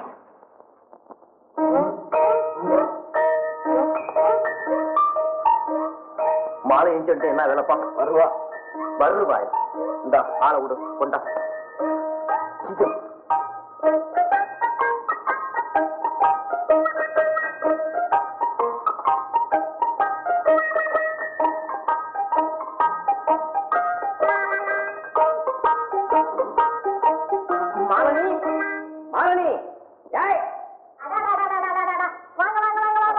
வாங்க பா, பா. என்ன இவ்வளவு நேரம்? என்ன இப்படி சொல்லிட்ட? கூட்டம் முடிஞ்சு நான் பாட்டுல வந்துட முடியுமா? பெரிய பெரிய தலைவரை முடிஞ்சு நீங்க பாட்டுல புறப்பட்டீங்க.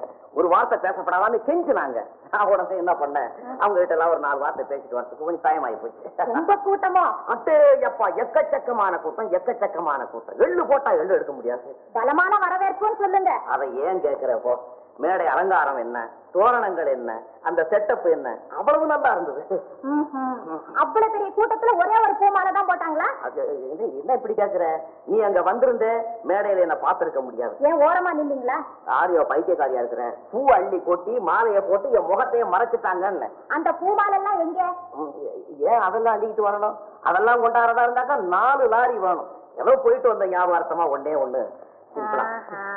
ஆமா. உங்களை யார் புகழ்ச்சியா பேசலையா? ஏன் பேசல?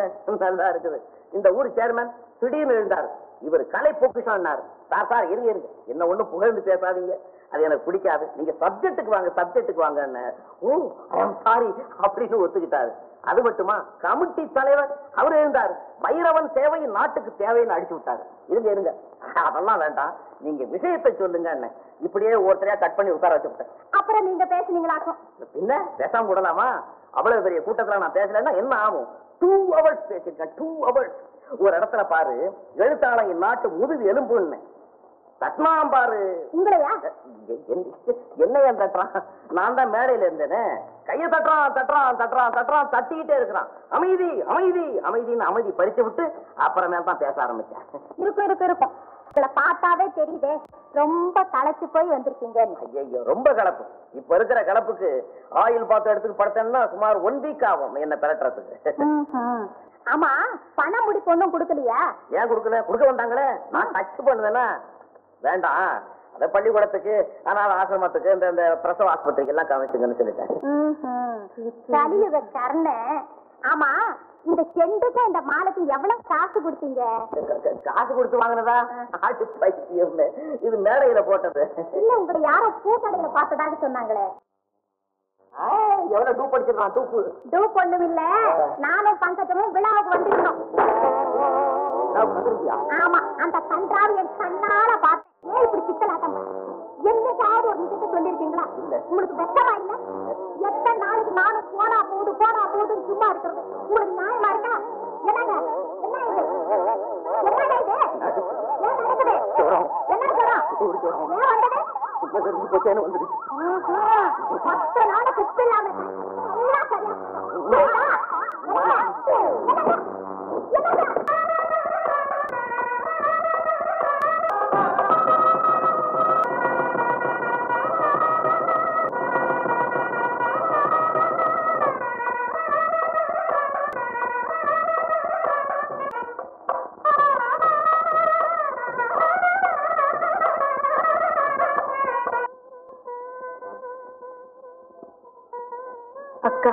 என்ன மறந்துட மாட்டியா. என்ன வசந்தி இப்படி சொல்ற? நான் அடிக்கடி லெட்டர் எழுதுவேன். நீயும் தவறாம எழுதணும் என்ன? போயிட்டு வர்றேன். போயிட்டு வாங்க.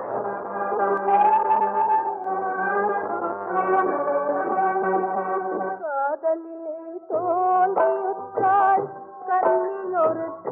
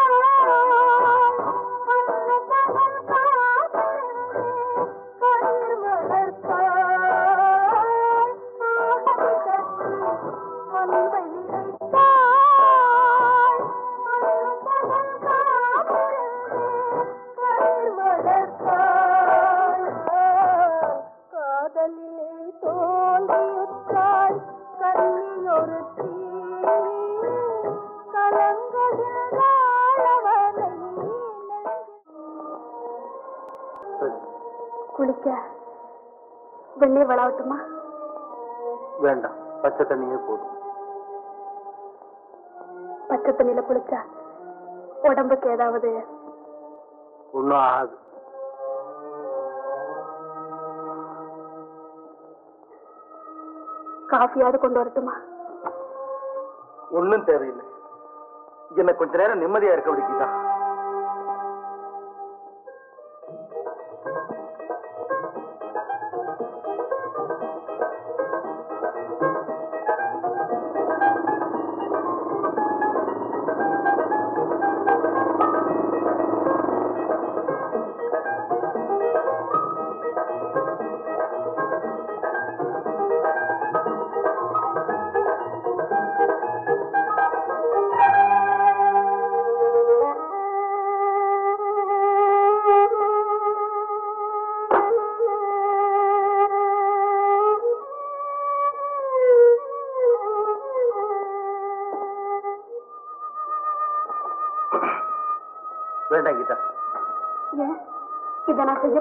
இந்த சம்பிரதாயம் எல்லாம் எனக்கு பிடிக்காது.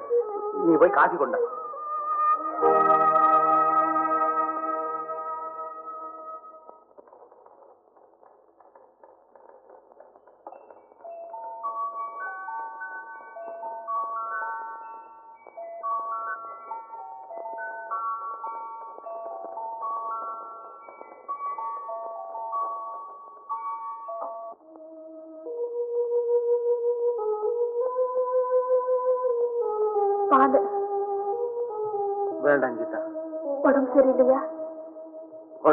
கேடு.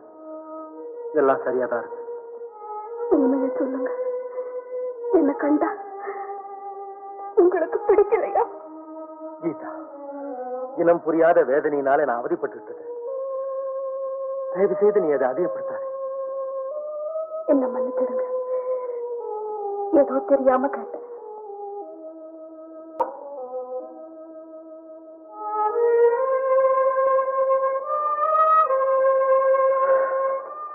இங்க காசே சரியாவில்லை நான் வெளியே போய் படுத்துக்கிறேன்.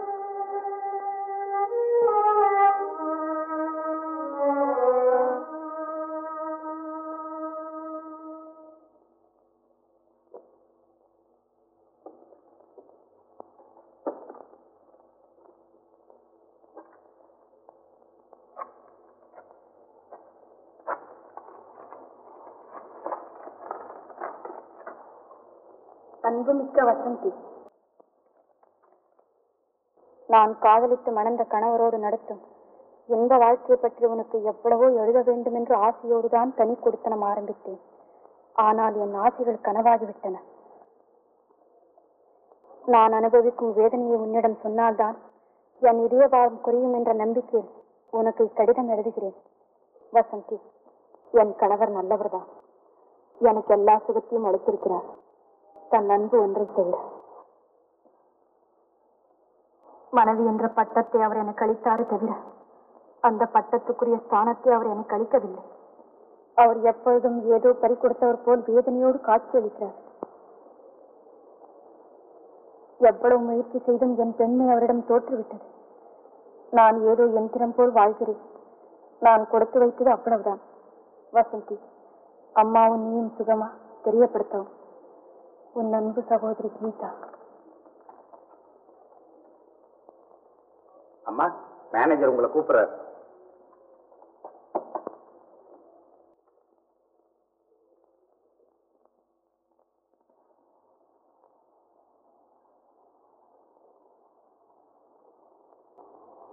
கூப்பிட்டீங்களாங்க ஓ உட்கார் வசந்தி.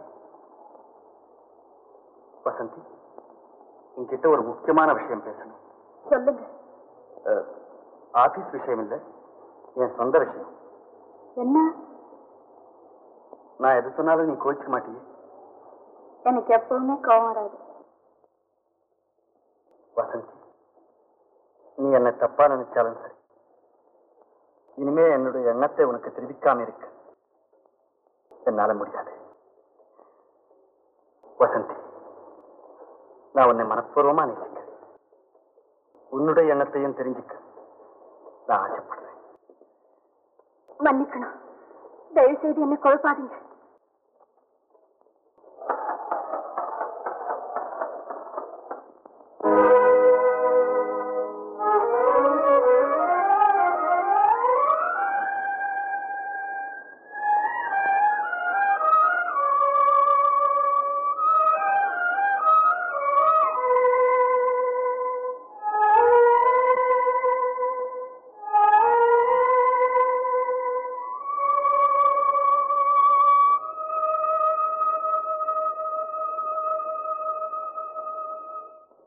மதிப்பிற்குரிய பாஸ்கர் அவர்கள் வணக்கம். அறிவிலும் ஆற்றலிலும் சிறந்தவரான உங்களுக்கு இக்கடிதம் எழுத நேர்ந்ததை குறித்து வருந்துகிறேன். பிரகாசமாக எரியும் அகல் விளக்கு மங்கும் போது அதற்கு தூண்டுகோல் அவசியம் அல்லவா நீங்கள் அகல் விளக்கு எப்படியும் ஒளி உங்களிடமிருந்துதான் கிடைக்கிறது. ஆனாலும் அதற்கு நான் தூண்டுகோலாக இருப்பதில் தவறொன்றும் இல்லையே பாஸ்கர் உலகத்திலே நூற்றுக்கு தொண்ணூறு பேர் காதலில் தோல்வி அடைகிறார்கள். அந்த தொண்ணூறு பேரும் இழந்த காதலினை தங்கள் வாழ்க்கையையும் தங்களை சார்ந்தவர்களுடைய வாழ்க்கையும் பாழாக்கி கொண்டிருந்தால் உலகத்தில் என்ன மீண்டும் கல்லறைகள் தானே மீண்டும் என் சகோதரின் சந்தோஷத்திற்காக நான் உங்களையே தியாகம் செய்தேன். நீங்களும் உங்களுடைய பவித்திரமான காதலை தியாகம் செய்தீர்கள். ஆனால் என் சகோதரி தன் கணவனுடைய அபலியாக நிற்பதை நினைக்கும் போது பாஸ்கர் நாம் இருவரும் அவளுக்காக செய்தது தியாகமா அல்லது துரோகமா? ஒரு நிமிடம் எனக்காக யோசித்து பாருங்கள். மனிதர்களாக பிறந்தவர்கள் பலர் மிருகமாக வாழ்கிறார்கள். பலர் சிலருடைய நெஞ்சங்களில் தெய்வமாக வாழ்கிறார்கள். பார்க்க நீங்கள் என்றென்றும் நான் பூஜிக்கும் தெய்வமாக என் நெஞ்சத்திலேயே வாழ வேண்டும். இதுவே என் பிரார்த்தனை. தங்களுடைய அன்பு சகோதரர் வசந்தி.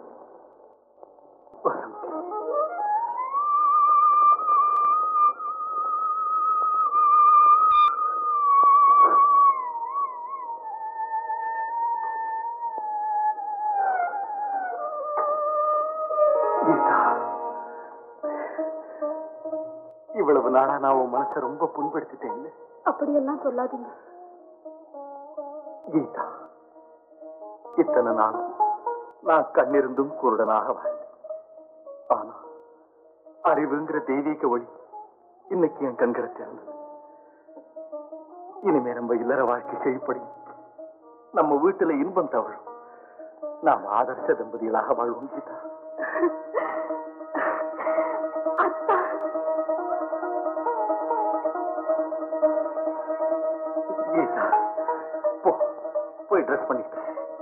நாம எங்கேயாவது வெளியே போ. ஒரு நிமிஷத்துல வந்துடுறேன்.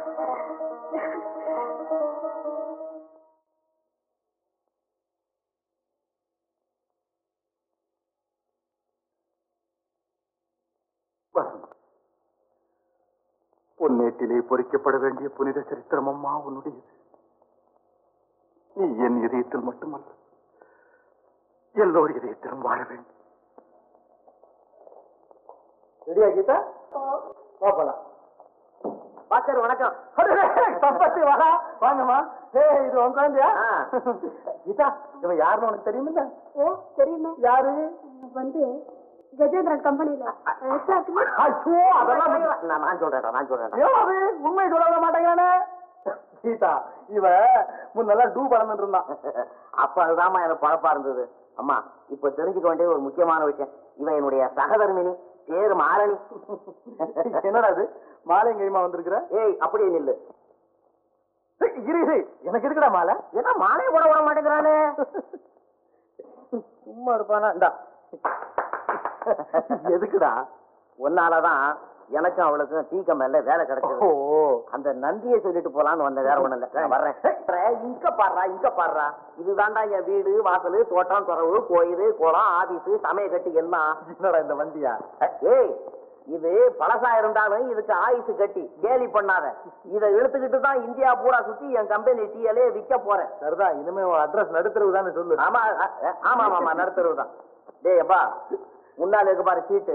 அதுதான் என் ஆபீஸ் ஓஹோ. இது இருக்குது பாத்தியா? இதுதான் குடலாம் இங்கதான் சரக்குகள்லாம் ஏகமா இருக்குது. கரெக்ட் உனக்கு ஏத்த இடம் இது. ஏப்பா எல்லாம் உன் தயவு தான்டா. உன்னுடைய சிவாரசுல டீ இலையில நான் விழுந்தேன். அப்புறம் கொஞ்ச நாள் என் பொண்டாட்டி இழுத்து டீயில போட்டேன். இன்னும் கொஞ்ச நாள் போகட்டும் என் பிள்ளைய தூக்கி டீயில உன் குடும்பமே டீ தானா? குடும்பம் என்ன? வருங்கால சந்ததிகளே இனிமே டீயில தான். நீ ஆளை விடு. நான் வர்றேன். மாலினி வண்டியில. நான் வரேன்டா வரேங்க. Thank you.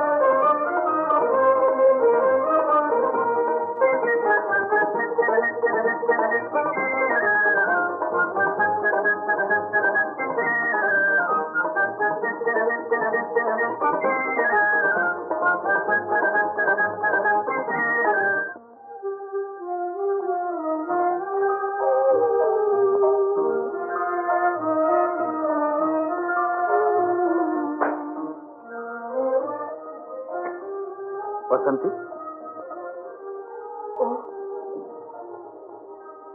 good evening good evening என்ன வசந்தி? தனியா இங்க இருக்க? பழுத போகல. அதனால. நான் வந்தது உனக்கு இடைஞ்சலா இருக்கா? அதெல்லாம் ஒண்ணுமில்ல வசந்தி ஆபீஸ்ல நான் உன்னை கேட்ட கேள்வி பதில் சொல்லாம போயிட்டேன் அது விஷயமா உன்னோட பேசணும்னு நினைச்சேன். அந்த சந்தர்ப்பம் எதிர்பாராத விதமா இன்னைக்கு வசந்தி நான் உன்னை பார்த்த நாள்ல இருந்து உன்னோட பழக ஆரம்பிச்சதுல இருந்து என் மனசு உன்கிட்ட பறி கொடுத்தேன் ஆகையினால உன்கிட்ட மனம் திறந்து பேசி உன் எண்ணத்தை தெரிஞ்சுக்க ஆசைப்படுறேன். ஒரு பெண் தன் வாழ்க்கையில ஒரே ஒரு முறைதானே காதலிக்க முடியும்? என்ன சொல்ற வசந்தி? நான் ஏற்கனவே ஒருத்தரை காதலித்தேன்.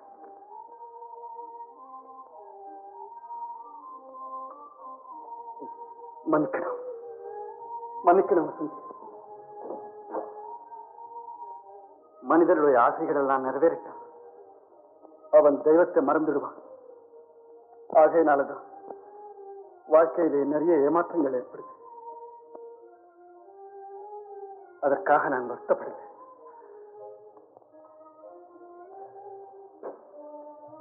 வசந்தி நீ காதலிச்ச வாலிபனை கல்யாணம் செய்து கட்டி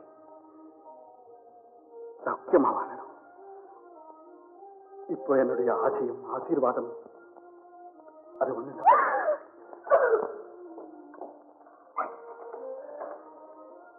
என்ன வசந்தி?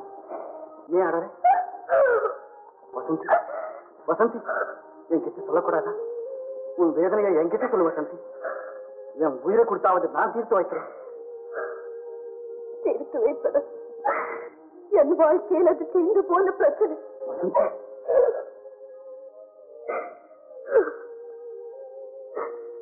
நான் மனப்பூர்வமா ஒருத்தரை நேசிச்சேன். அவரும் தன் உயிருக்கு மேல என்னை காதலிச்சார். ஆனா என் கூட பிறந்த சகோதரி என்னை படிக்க வைக்கிறதுக்காக தன்னுடைய சகல சுகத்தையும் தியாகம் செய்த உத்தன் தன் காதலை என்னிடம் வெளியிட்ட போது நான் திடுக்கிட்டேன். ஏன் தெரியுமா? நான் காதலிச்ச அவர் அவளும் காதலிச்ச அவர் இல்லாம எனக்கு வாழ்வே இல்லைன்னு என்கிட்டயே சொன்னான். எனக்காக வாழ்ந்த அந்த நல்லவளுக்கு நான் வாழ்வழிக்க தீர்மானித்தேன். கடமைக்காக என் காதலை துறக்க முடிவு செய்தேன். ஆகையினால் மன உறுதியோடு நான் காதலிச்ச அந்த உத்தமரை என் சகோதரிக்கு கல்யாணம் செய்து வச்சேன் இப்ப அந்த ஒரே பெருமையில தான் நான் வாழ்ந்துகிட்டு இருக்கேன்.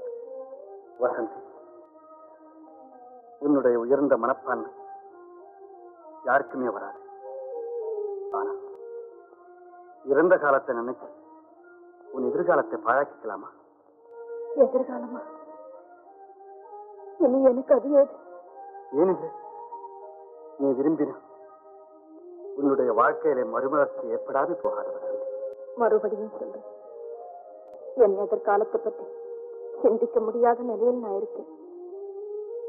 வசந்தி சோகமே உருவான உன் சரித்திரத்தை கேட்டதுக்கு அப்புறம் உன்னை சந்திக்கிற போதெல்லாம் என் மனசு எவ்வளவு துன்பப்படும் தெரியுமா? என்னால நீங்க துன்பம் அடையிறதா இருந்தா நாளைக்கு என் வேலையை ராஜினாமா செய்துடுறேன். வேண்டாம் வசந்தி. அவசரப்பட்டு நீ அந்த முடிவுக்கு வர வேண்டாம். நான் உன் மனசை புண்படுத்தியதுக்கு என்னை மன்னிச்சிடு.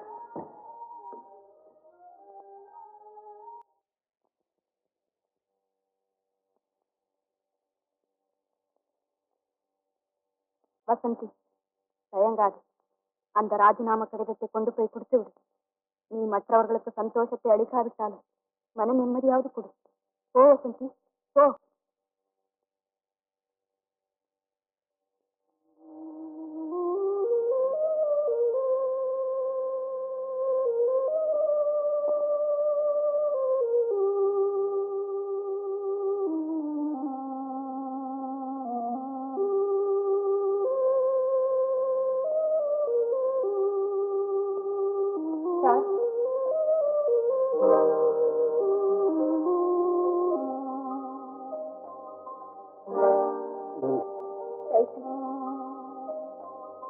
உங்க பேர்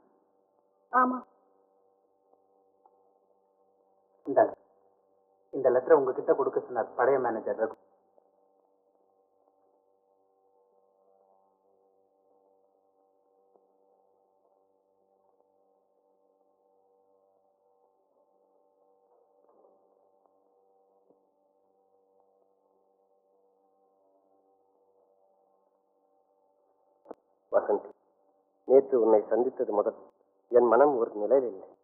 அர்த்தமற்ற முறையில் நான் கொண்ட காதலை உன்னிடம் தெரிவித்து உன் மனதை குழப்பியதற்காக என்னை மன்னித்தீர்கள் நேற்று என்னிடம் எனக்காக நீ ராஜினாமா செய்வதாக சொன்னாய். நீ ஒரு பெண். ஒரு குடும்பத்தை காப்பாற்ற வேண்டிய நிலையில் இருப்பவள். ஆகவே உன் நலன் கருதி நான் ராஜினாமா செய்தேன். இனி உன்னை சந்தித்து உன் மன நிம்மதியை பாழ்படுத்த மாட்டேன். என்றும் உனக்கு என் வாழ்த்துக்கள். உலகத்தில் எத்தனையோ நல்லவர்கள் இருக்கிறார்கள். ஆனால் அந்த நல்லவர்களுடைய வாழ்க்கை நாசமாக்கத்தான் இந்த பாழுஞ்சென்மம் எடுத்தேனா? ஒத்திருங்க நான் காஃபி போடுறேன். யாராவது பார்த்தா என்ன நினைப்பாங்க? நீ சும்மா இருக்கீதா பெண்டாட்டி அருமை தெரிஞ்ச எவனும் எதுவும் நினைக்க மாட்டான். இன்னும் ரெண்டு மாசம் போனா நானே சமைக்க வேண்டி வரும். அதுக்கு இது ஆரம்ப பாடமா இருக்கட்டுமே. கலக்கலாமா? கெட்டியா இருக்கு? பாத்தீங்களா? வசந்தி. வசந்தி பொம்பளைங்க வேலையை ஆம்பளைங்க செஞ்சு அப்படித்தான். வா வசந்தி அக்கா அக்கா அக்கா, அக்கா. எப்போ வந்த? லெட்டர் கூட போடாம இப்படி சரியா வந்திருக்கீங்க. அம்மா சௌக்கியமா இருக்காங்களா? சௌக்கியம் அக்கா திடீர்னு புறப்பட்டேன் அதனால லெட்டர் போட முடியல. தெரியும்.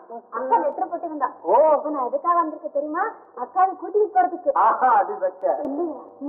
முதல் பிரசவம் ஆச்சு வளைகாப்பு சீமந்தமெல்லாம் நடத்த வேண்டாமா? அக்கா இன்னைக்கு சாயங்காலமே அக்காவை கூட்டிட்டு போறேன். இன்னைக்கேவா ஆமாக்கா ரெண்டு நாள் தான் லீவ் போட்டுட்டு வந்திருக்கேன். அக்கா கூட்டிட்டு போட்டுமா நான் வேண்டாம்னு சொல்ல போறேன். தாராளமா கூட்டிட்டு போயேன் வளைகாப்பு சமயத்துல உங்களுக்கு லெட்டர் போடுறேன். கண்டிப்பா வரணும். நானா?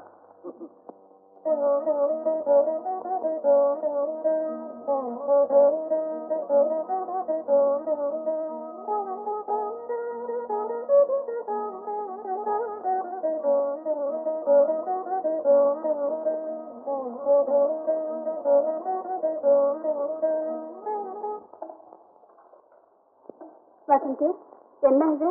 இதுவாக்கா பிறக்க போற உன் பிள்ளைக்கு சொட்டு போட்டுக்கிட்டு இருக்கேன் ஏன் வசந்தி பிறக்க போறது புள்ளதான்னு அவ்வளவு நிச்சயமா எப்படி சொல்ல முடியும்? பொண்ணு பிறக்க கூடாதா? எனக்கு நிச்சயமா தெரியாக்கா உனக்கு ஆண் குழந்தை தான் பிறக்க போகுது. சரி உன் இஷ்ட பிரகாரமே பிறக்கட்டும். அக்கா இப்படி உட்கார.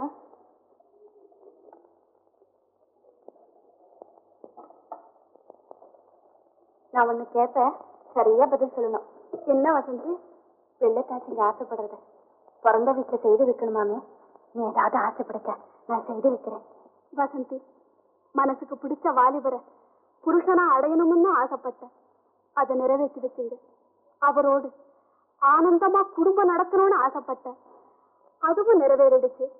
இதை தவிர இனிமே நான் வேற எதுக்கு ஆசைப்பட போறேன்? அக்கா அது நீ செய்த பாக்கியம். வந்தக்கா இப்ப நீ ஏதாவது ஆசைப்பட்டுத்தான் ஆகணும். அதை நான் செஞ்சு வச்சுதான் தீரணும். சொல்லுக்கா. ம் வசந்தி நான் ஆசைப்படுறத நீ கண்டிப்பா செய்வியா? ஓ கண்டிப்பா செய்யறேன் நீ இவ்வளவு குறும்புக்காரியா இருக்கிறியே. உன்னை கல்யாண பொண்ணு போல சிங்காரிச்சா நீ எப்படி வெக்கப்படுவேங்கிறத பார்க்கணும்னு எனக்கு ரொம்ப ஆசையா இருக்கு வசந்தி. உன்னை இப்பவே சிங்காரிச்சு பார்க்கணும் போல இருக்கு. வா வசந்தி.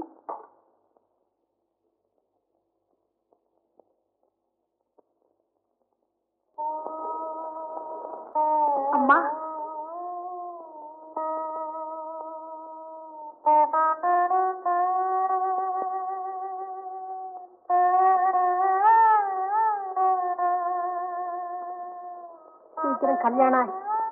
தீர்க்காயுசா தீர்க்க சுமங்கலியா? நீடோடி வாழணும்மா வசந்திக்கு ஒரு குறவும் வராதம்மா. அவ நல்ல மனசு கேட்ட மாப்பிள. கண்டிப்பா கிடைக்கும்.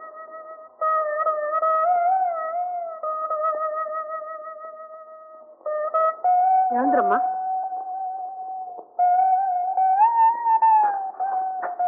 யார் இந்த கல்யாண பொண்ணு? என்ன வெக்கம்? வாயே வா.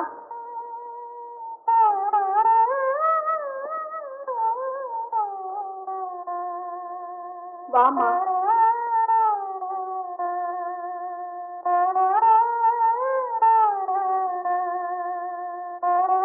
என்னத்தான் அப்படி பாக்குறீங்க? நம்ம வசதி தான்.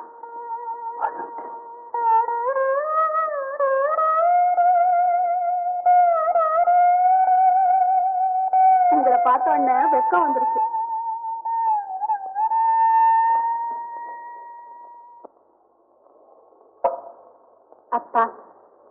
அக்காவினால மாடி ஏறி வர முடியல. அதனால நானே கொண்டு வந்தேன்.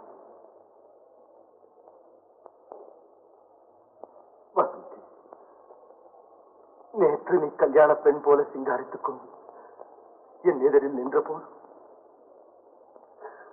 ஐயோ உன் வாழ்க்கை வெறும் பொம்மலாட்டமாகி விட்டதே என்று என் உள்ளம் துடித்தது வசந்தி.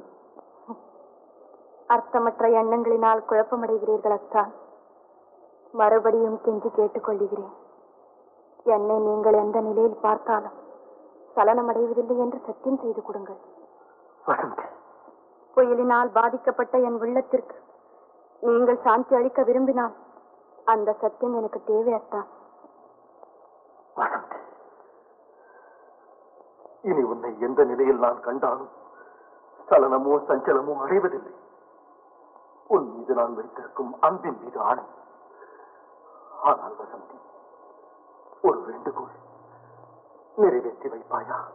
நியாயமான எந்த வேண்டுகோளை நான் இதுவரை நிராகரித்ததில்லையே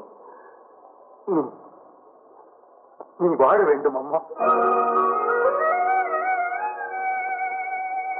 நல்லதொரு வாலிபனை மனம் புரிந்து சீரும் சிறப்புமாக நீடோடி வாழ வேண்டும் அம்மா.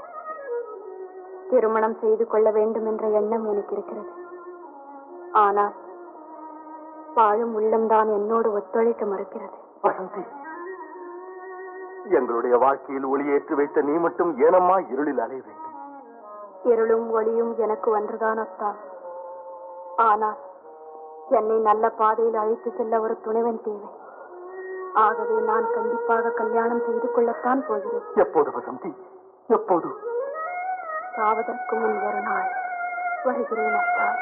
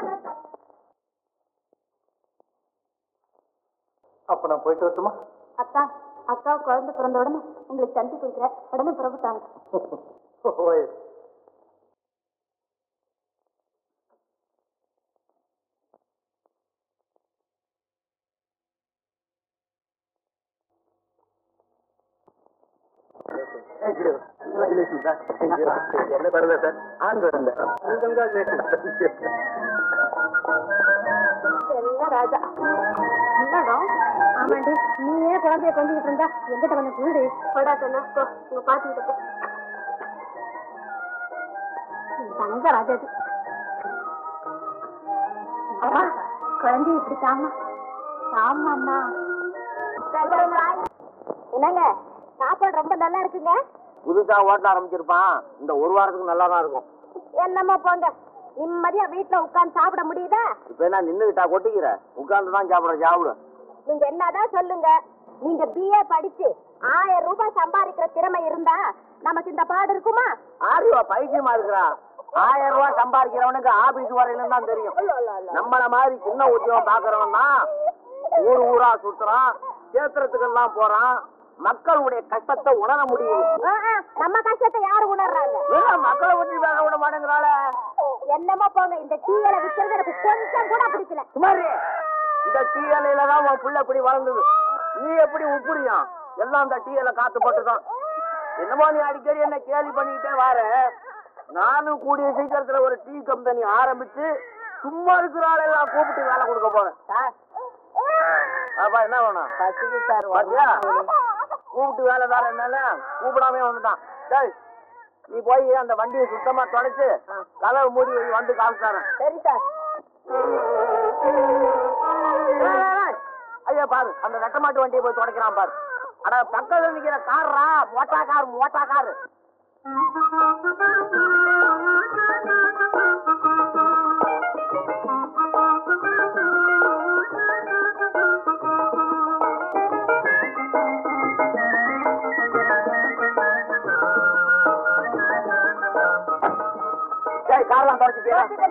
மூடியா போய் அந்த டிஃபன் கறி எடுத்துட்டு வா. விடா கண்டனா நான் கொடுக்க மாட்டேனா? சீக்கிரம் ஓடிடா. மாலினி வண்டி பேர்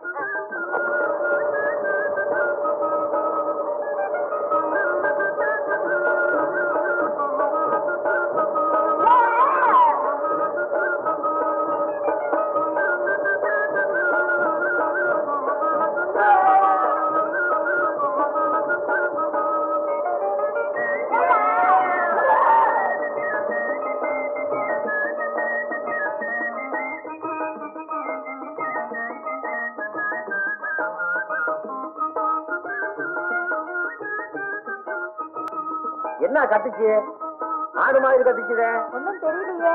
உன் தலை.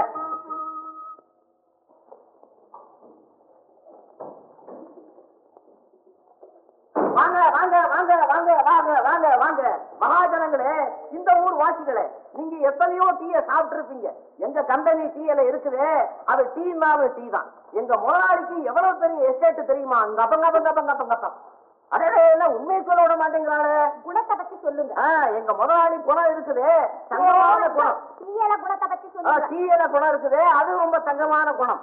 எங்க கம்பெனி டீயை நீங்க சாப்பிட்டீங்கன்னா சக்கரை வாங்க வேண்டியதில்லை. ஏன்னா அதுல சக்கரை சத்து இருக்குது. எங்க கம்பெனி டீயை சாப்பிட்டீங்கன்னா பால் வாங்க வேண்டியதில்லை. ஏன்னா பாலை ஊத்தி தான் அந்த செடியை வளர வைக்கிறோம். அப்ப அதை சாப்பிட வேண்டாம். சாப்பிட வேண்டியதில்லை. ஏன்னா இல்ல, சாப்பிடணும் சாப்பிடணும். அதுக்காகத்தானே நாங்க வந்திருக்கிறோம். யார் யாருக்கு எத்தனை பொட்டணம் வரும்? இருங்க இருங்க ஒன்றரை இனா ரெண்டரை இனா நாலரை மூணு வீதம் இருக்குது. எல்லா காசு எடுத்து கையில வச்சுங்க? சத்தம் போடாதீங்க.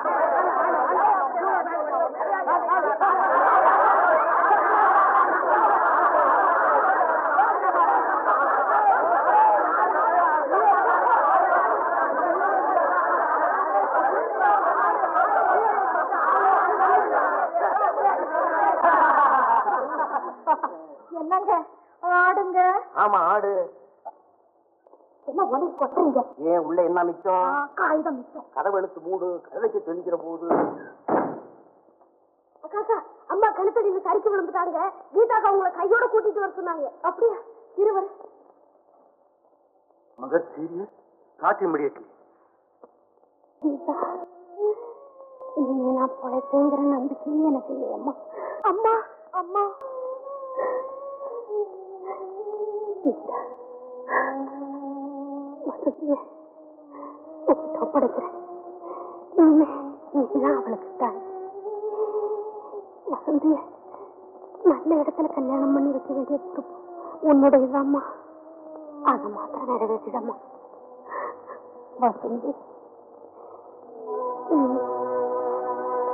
அக்காதான் உனக்கு எல்லாம். நீ நல்ல கணவன் அடைஞ்சு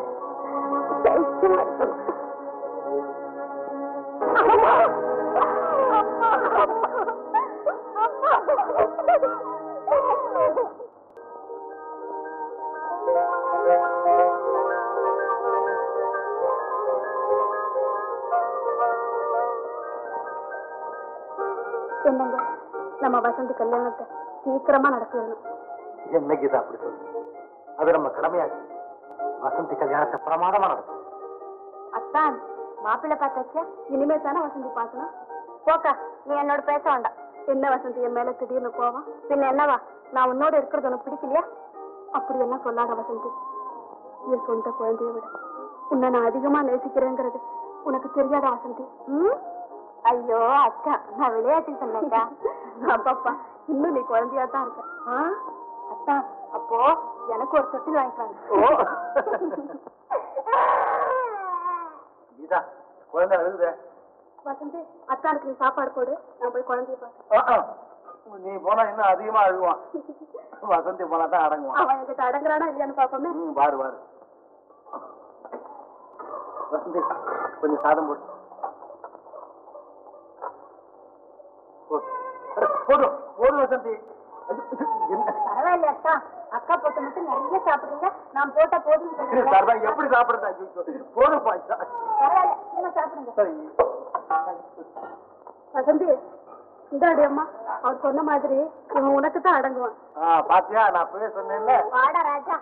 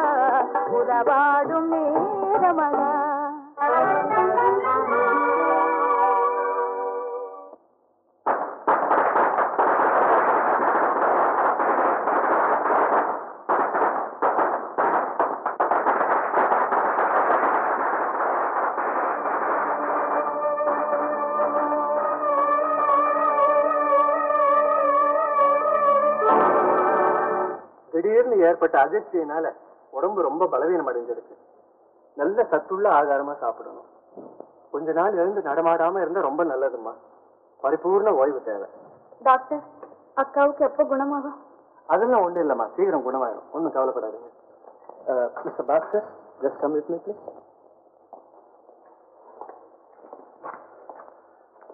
என்ன டாக்டர்? மிஸ்டர் பாஸ்கர் இது ஒரு சிக்கலான கர்ப்பச்சிதைவு ரொம்ப கேர்ஃபுல்லா பார்த்துக்கணும். கூட டிஸ்பென்சரிக்கு வாங்க. ஆபீஸுக்கு நேரமாச்சே. இலை போட்டுங்களா? இலை போட்டாச்சேக்கா அத்தானு நான் சாதம் போடுறேன். நீ போய் மருந்து சாப்பிட்டு படுத்து ஆமா கீதா. நீ மருந்தை மட்டும் வேலை வேலைக்கு சாப்பிட்டுடு என்னை பத்தியோ வீட்டை பத்தியோ நீ கொஞ்சம் கூட கவலைப்படாத. எல்லாம் அவன் தங்க பாத்துக்குவா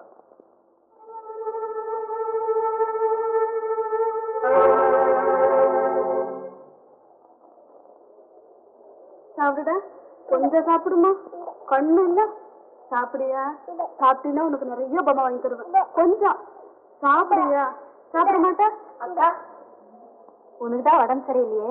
நீ ஏன் அவனோட அவதி பண்ணும் ஓக்கா டாக்டர் உன்னை ஓய்வு எடுத்துக்க சொல்லிட்டாரு போய் படுத்துக்க.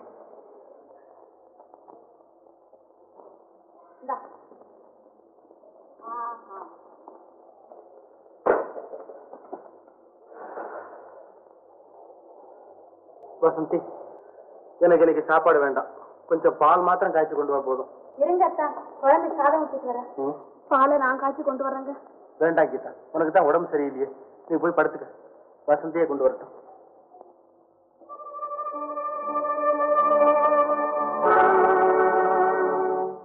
வசந்தி? வசந்தி? வசந்தி? வசந்தி? என்ன வேணுங்க? என்கிட்ட சொல்லுங்க. நீயா கீதா? உனக்கு இதெல்லாம் சொன்னா புரியாது. மணி பத்தாச்சு. நீ போய் படுத்துக்க. என்ன அத்தா? ம்? ஆ, வசந்தி கொஞ்சம் ஆபீஸ் லெட்டர் எல்லாம் டைப் பண்ணணும்.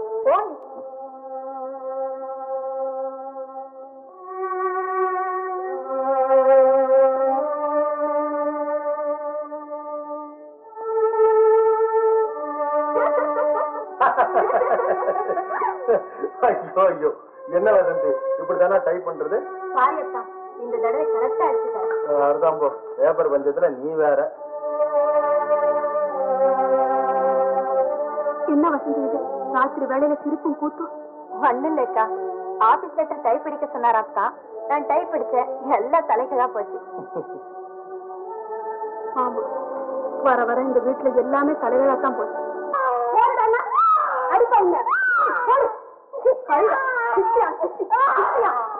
அப்படி என்ன இன்னொரு தடவை சித்தியை கூப்பிட்டேன்? உன் நாக்க புடிச்சு நான் நீ என்ன செய்த அப்பா போல புள்ள.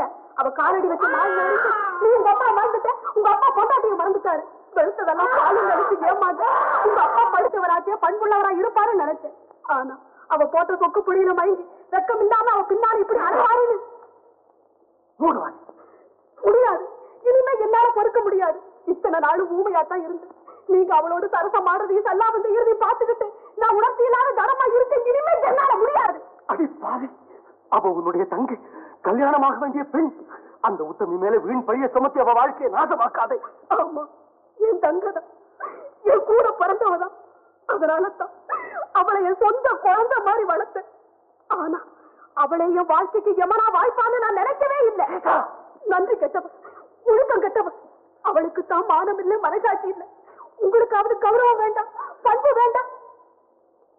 என்ன நோயாளி நோயாளின்னு சொல்லி நீங்க ரெண்டு பேரும் ஏன் எதிரிலேயே கொஞ்சம் குழாவி கும்மாளம் போடுறீங்களே? இது அடுக்குமா ராத்திரி கிடையாது பகல் கிடையாது. எப்ப பார்த்தாலும் வசந்தி வசந்தின்னு நீங்க அவ பின்னாடி அறையிறது அக்கம் பக்கத்துல பார்த்தா என் முகத்துல வேற காரி துப்புவாங்க அவளுக்கு தான் முறை தெரியலனா நீங்க கூட மோக வரி பிடிச்சு அலையணும்? குடும்ப பெண் வாழறதுக்கு லாய்க்கு இல்லாத பேசுறியா? பாவம் பண்ணிட்டு கஞ்சால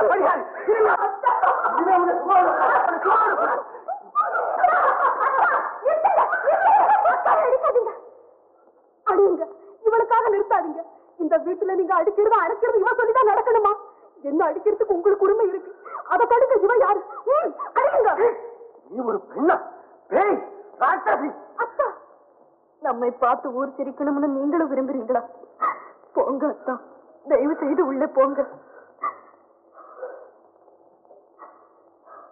அக்கா உண்மையை உணராம. நீ செய்யற ரகலி அக்கம் பக்கத்துல பார்த்தா நம்ம குடும்பத்துக்கே பெருத்த அவமானம். நான் பெண்ணா பிறந்த தோசை ஒண்ணு செய்யற நான் வேற எந்த தவறும் செய்யலேக்கா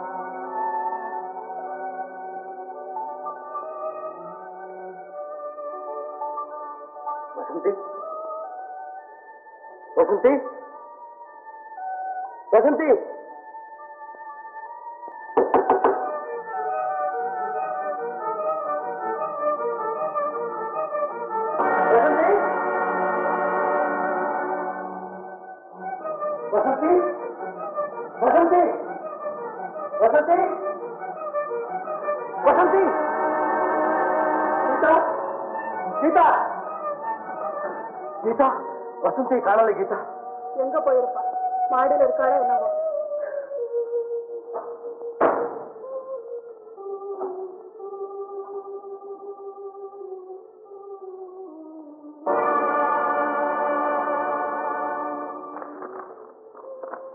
அன்புள்ள அக்கா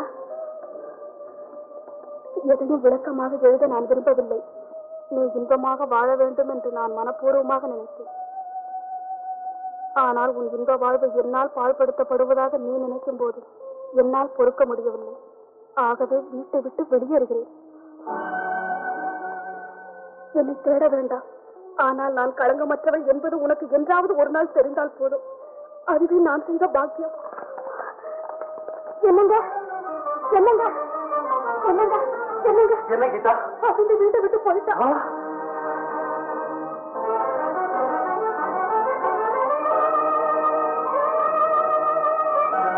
கீதா கீதா உன்னுடைய அற்பத்தனமான சந்தேகத்தினால் இந்த வீட்டின் லட்சுமி வெளியேறிவிட்டான். இந்த வீட்டின் ஒளி மறைந்து விட்டது. கூசாமல் படிச்சுமத்தி உன் கூட பிறந்தவளை விரட்டி விட்டாயே இதயம் உள்ளவளா நீ இரக்கம் உள்ளவளா நீ. திருத்துங்க குற்றம் உள்ள நெஞ்சு அவளுக்கு. அதனால அவ வீட்டை விட்டு வெளியே போனா. கீதா! அவளா குற்றம் உள்ளவள். அவளா களங்கம் உள்ளவள். அந்த புனிதவதியின் மீது பழி சுமத்தினால் தெய்வம் உன்னை மன்னிக்காது கீதா. மன்னிக்காது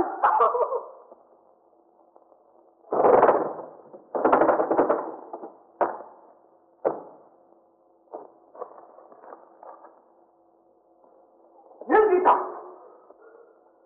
இதோ பா பண்பு குறையாத அந்த பத்தரை மாத்து சங்கத்தை பழித்து கூறினாயே இந்த கடிதத்தை படித்துப்பா ஒவ்வொரு எழுத்திலும் அவள் நெஞ்சத்தின் நேர்மை ஒவ்வொரு வரியிலும் அவள் உள்ளத்தின் ஒளி ஒவ்வொரு பக்கத்திலும் அவள் தியாகத்தின் பிரதிபலிப்பு சுடர்விட்டு பிரகாசிப்பதை பார்.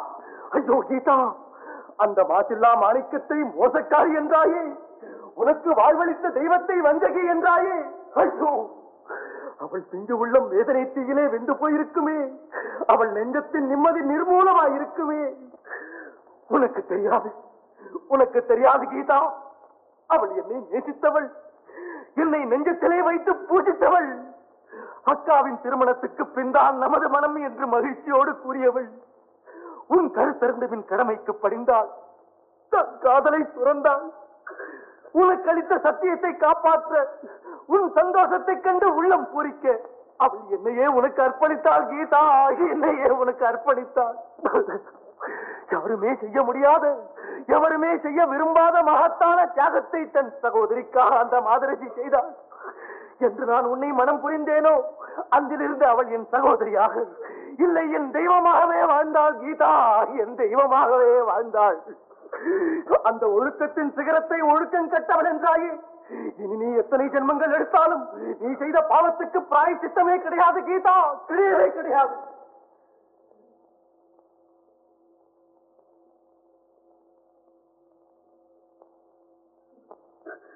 வசந்தி எல்லாவற்றையும் விட அக்காவின் அன்புதான் பெரிது என்று சொன்னாயே.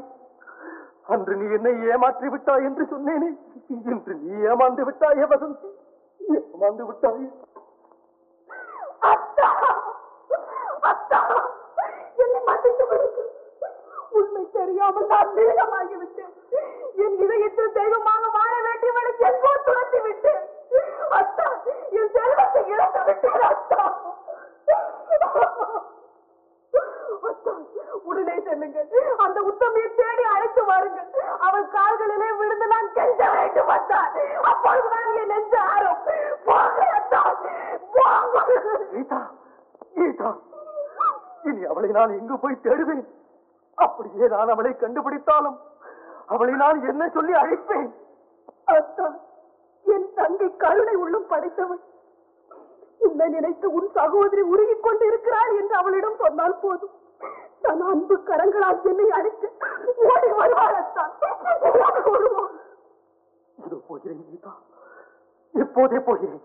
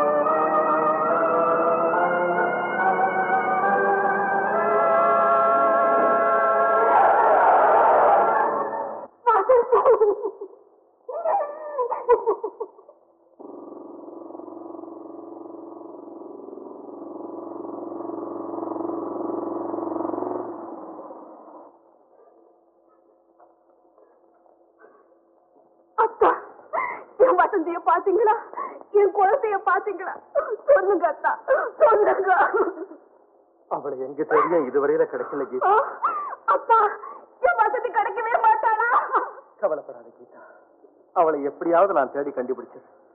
நீ வீணா உடம்பால இருக்க போ போய் படுத்து தூங்கு. நல்ல காலம். இன்னும் கொஞ்சம் தவறு இருந்தா உயிருக்கே ஆபத்தா முடிஞ்சிருக்கும். நீ செய்த அதிர்ஷ்டமா இந்த சின்ன காயத்தோட தப்பிச்சேன். இல்ல. நான் நிஜமாவே அதிர்ஷ்டம் செய்திருந்தேன். விபத்திலிருந்து உயிரோடு தப்பி இருக்கவே கூடாது. தப்பி இருக்கவே கூடாது. ஏமா இப்படி மனசு நொந்து போய் பேசுற?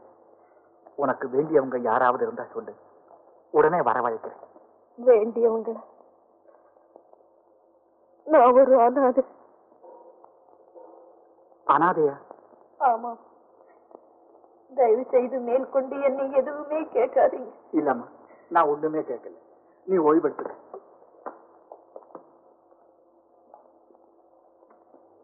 கீதா வசந்தியை தேடி கண்டுபிடிக்க வேண்டியது ஏன் பொறுப்பு? முதல்ல நீ மருந்து சாப்பிட. உடனே ஒரு விளம்பரம் கொடுங்க. விளம்பரமா? ஆமா. இப்பவே கொடுங்க. எதுக்கு கீதா வசந்தி உன்னை புரிந்து கொள்ளாமல் உன் மனதை புண்படுத்தி விட்டேன். நான் செய்த பாவத்திற்கு பிராயச்சித்தமாக என்னுடைய சகல சௌபாக்கியங்களையும் உனக்கு அர்ப்பணிக்க சித்தமாக இருக்கிறேன். உடனே புறப்பட்டு வா. அப்படின்னு எல்லா பத்திரிகையும் விளம்பரம் கொடுங்க அத்தா. அப்படியே இருக்கட்டும். நல்லா. அம்மா. என்ன சார் நீங்க சொன்ன பூச்செடி எல்லாம் வாங்கிட்டு வந்துட்டம்மா. சரி அதெல்லாம் எங்க வைக்கணும்னு நான் வந்து சொல்றேன். வசந்தி நீ வந்த பிறகு இந்த வீடே சோபிதமா இருக்குதம்மா. ஏம்மா காயமெல்லாம் ஆறிடுதா? இதயத்துல பட்ட எத்தனையோ காயங்கள் தானா ஆறிருக்கு இது எப்படி ஆறாம போகும்?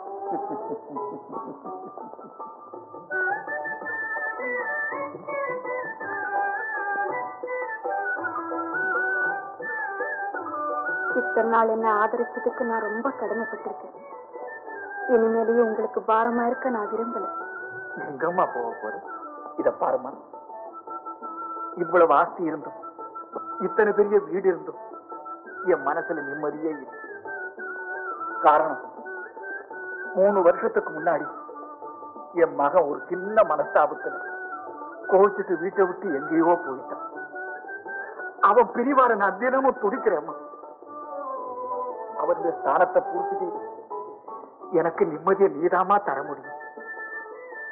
எனக்கு நீ செய்யக்கூடிய கைமாறு இது ஒண்ணுதாம்மா. இது உன் வீடுமா போமா போ. நீ சொன்னது போல விளம்பரம் கூட கொடுத்து பார்த்தேன். வசதி கிடைக்கலன்னா. அதுக்காக மருந்து கூட சாப்பிடாம என்ன மோசம் செய்துட்டு போறேங்கிறீ இது நியாயமா கீதா? இதோ பாரு கீதா.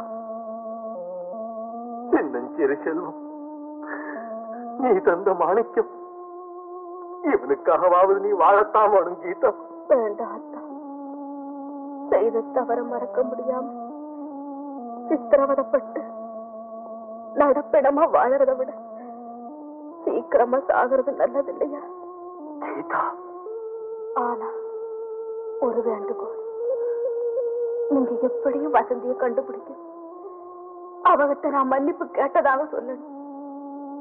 அது மட்டுமல்ல. என் செல்வ மகனுக்கு வசந்தியை தாயாக்கணும். செய்வீங்களா அத்தா? கீதா தயங்காதீங்க அத்தா. சத்தியம் செய்து கொடுங்க. அப்பதான் என் ஆத்மா சாந்தி அடையும். என் வேண்டுகோளை நிறைவேற்றிடுங்க அத்தா. கீதா சத்தியமா? வசந்திய நான் இவனுக்கு தாயாக்குறேன் அத்தா. கீதா சாத் தந்தி. Tantya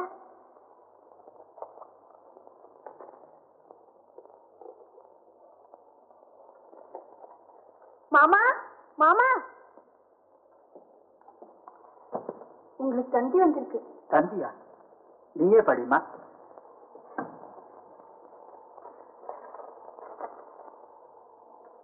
arriving tomorrow morning plane son மகனா? என் மகனா? நாளைக்கா வர்றான் என் மகன் வந்துட்டான். என் மகன் வந்துட்டான். வசந்தி நீ வந்த வேலை என் மகன் வந்துட்டாமா என் மகன் வந்துட்டான். மாமா. இனிமே எனக்கு எந்த குறையும் இல்லை. இனிமே எனக்கு எந்த குறையும் இல்லை.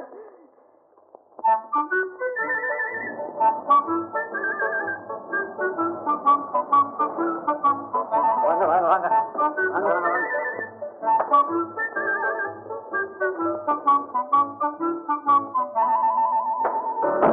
என்னப்பா எல்லாம் சௌக்கியமா இருக்கீங்களா? இருக்கிறாங்க வாங்க சின்னேசமா வணக்கம். வணக்கம். முனியா நாம இருக்க சாமானங்கள் எல்லாம் கொண்டு போய் உள்ள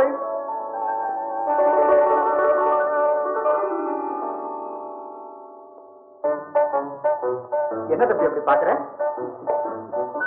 உனக்கு புதுசா இருக்கு இல்ல? அது பேர் வசந்தி. வசந்தி இவன் தாமா என் மகன் ரகு.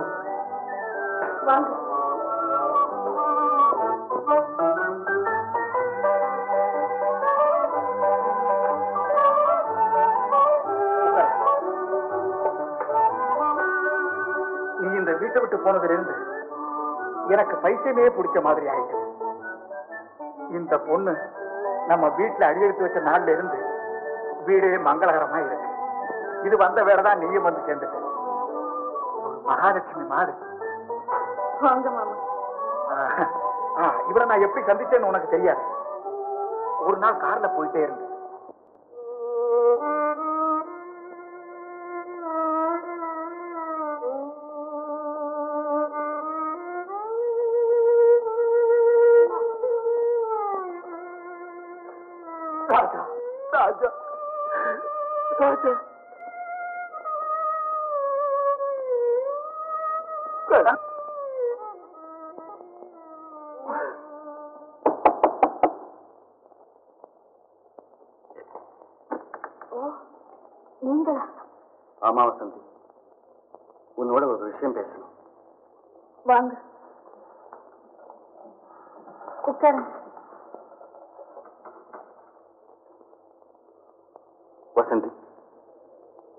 அனாதைன்னு அப்பா கிட்ட சொன்னியாமே?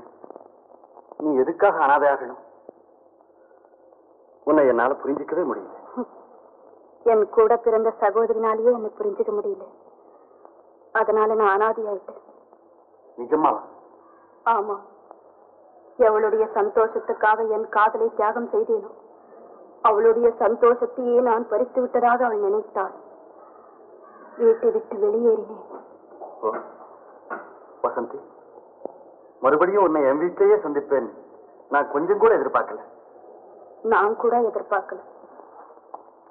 வசந்தி என்னை பார்த்த உடனே என்னால உனக்கு ஏதாவது இடைஞ்சல் ஏற்படுமோன்னு பயப்படுறேன். இல்லையா? இல்ல. எனக்கு அந்த பயம் கொஞ்சம் கூட இல்லை. என்னைக்கு நீங்க உங்க உத்தியோகத்தை எனக்காக ராஜினாமா செய்து போனீங்களோ அன்னைக்கே உங்களை ஒரு உத்தமன்னு தீர்மானிச்சுட்டேன். ரொம்ப நன்றி வசந்தி. உனக்கு என் மேல இருக்கிற இந்த நல்ல அபிப்பிராயத்தை கடைசி வரைக்கும் என்னால காப்பாற்ற முடியும்.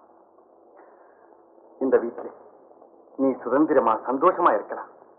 உன் விருப்பத்துக்கு விரோதமா இங்க எதுவுமே நடக்காது. இதை சொல்லத்தான் வந்தேன். வரேன்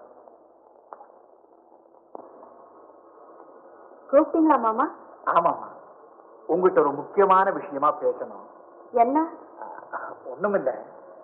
இத பாருமா எனக்கு ஒரு சின்ன ஆசை. அது நிறைவேறிடுச்சுன்னா நான் ரொம்ப சந்தோஷப்படுவேன். என்ன மாமா அது? வருவானோ மாட்டானோன்னு இருந்த என் மகன் நல்ல காலமா மனசு மாறி திரும்பி வந்துட்டான். அதே போல இந்த வீட்டுக்கு விளக்கேற்றி வைக்க ஒரு மருமக வந்துட்டா எனக்கு பரிபூர்ண திருப்தி ஆயிடும். பொண்ணு பாருங்க மாமா. கல்யாணம் தானா நடக்கும். பெண்ணை பார்த்துட்டேம்மா. நிஜமாவா? ஆமா. என் மகனுடைய அழகுக்கும் அறிவுக்கும் ஏத்த பெண். உன்னை தவிர வேறு யாருமே மாமா. இத பாருமா எனக்கு இருக்கிற ஆசை அது ஒன்னே ஒண்ணுதான். நீ சம்மதம் சொல்லிட்டா ரெண்டு பேருக்கும் கல்யாணம் பண்ணி வச்சு கண்குளிர பார்ப்பேன். என்னம்மா சொல்ற? மன்னிச்சிடுங்க மாமா. என் கல்யாணத்தை பத்தி நினைச்சு பார்க்க நிலையில என் மனசு இல்ல மன்னிச்சிடுங்க.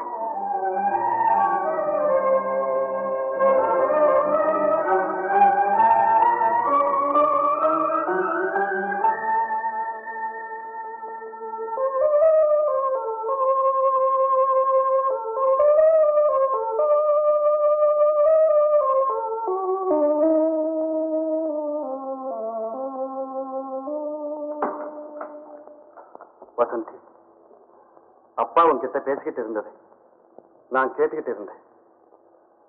ஏதோ அவர் உன் மேல வச்சிருக்கிற அளவு கடந்த வாஞ்சையினாலே நீ இந்த வீட்டு மருமகளாகணும்னு ஆசைப்பட்டார் உன் மனோநிலை புரியாம உன் மனசை புண்படுத்தியதுக்காக அவர் சார்பிலே நான் உன்னை மன்னிப்பு கேட்க வந்தேன். அப்படியெல்லாம் சொல்லாதீங்க. இல்ல வசந்தி கல்யாணங்கிறது பொம்மை விளையாட்டு இல்லை அழியாத ஒரு பிணைப்பு இதுல கட்டுப்பாடோ வற்புறுத்தலோ இருக்கக்கூடாதுங்கிறது ஏன் அபிப்பிராயம்? இத பார் வசந்தி. நீ என்ன கல்யாணம் செய்துக்க வேண்டாம். ஆனா வேற யாரையாவது கல்யாணம் செய்துக்கிட்டு எல்லா பெண்களையும் போல நீயும் சந்தோஷமா வாழணும். என் மனசு ரொம்ப குழப்பம் அடைஞ்சிருக்கு எனக்கு கொஞ்சம் அவகாசம் கொடுங்க. நான் கல்யாணம் செய்திக்கிறதா தீர்மானிச்சா மனப்பூர்வமா சொல்றேன். உங்களை விட சிறந்த புருஷன் எனக்கு கிடைக்கவே மாட்டார்.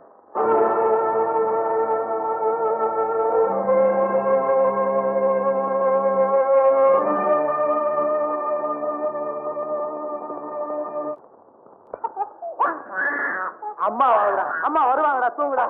ஐயோ அம்மா அம்மா. அம்மாக்கு நான் எங்கடா போனேன் அம்மாவா அம்மா.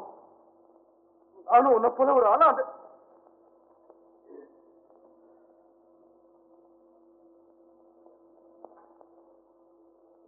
ராஜா. ராஜா. ராஜா. ராஜா. ராஜா. ராஜா. ராஜா.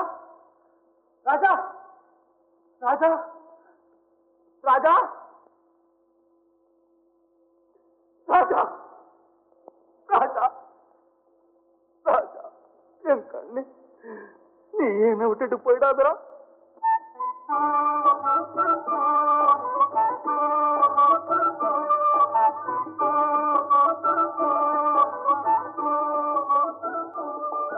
ఏంటో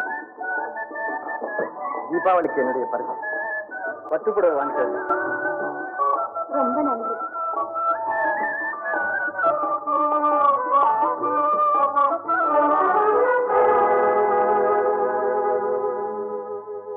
வசந்தி. உன்னை புரிந்து கொள்ளாமல் உன் மனதை புண்படுத்தி விட்டேன். நான் செய்த பாவத்திற்கு பிராயச்சித்தமாக. என்னுடைய சகல சௌபாகியங்களையும் உனக்கு அர்ப்பணிக்க சித்தமாயிருக்கிறேன். உடனே புறப்பட்டு வா. அன்பு சகோதரி கீதா.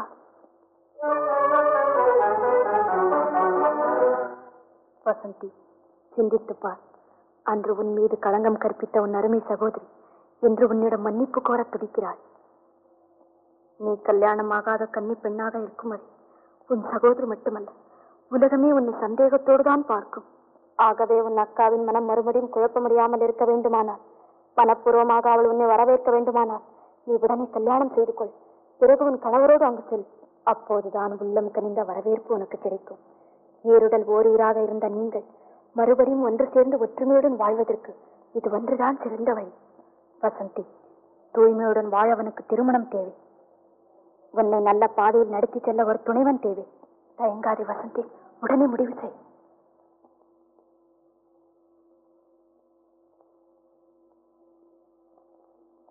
நான் கல்யாணம் செய்திக்கிறதா தீர்மானித்தேன் மனப்பூர்வமா சொல்றேன். உங்களை விட சிறந்த புருஷன் எனக்கு கிடைக்கவே மாட்டார்.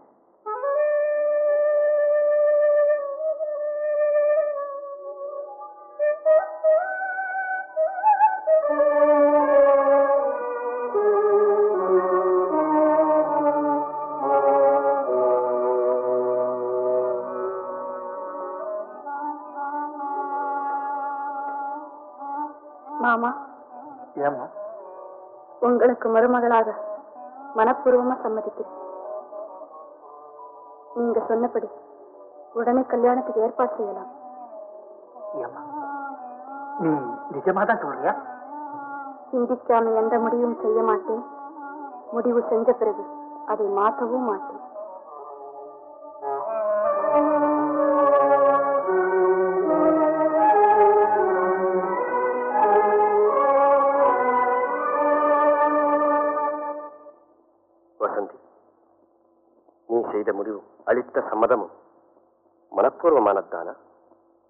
மனப்பூர்வமானது மட்டுமல்ல.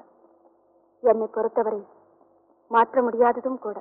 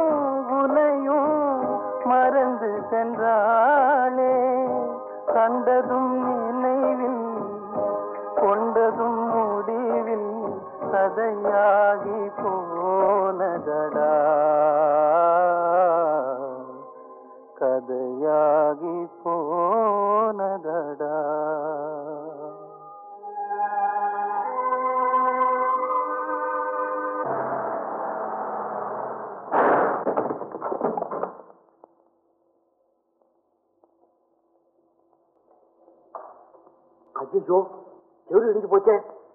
ஆமாங்க என்ன செய்யறது? ஒருத்தரையும் காணோம் ஓடி போடுவோம்.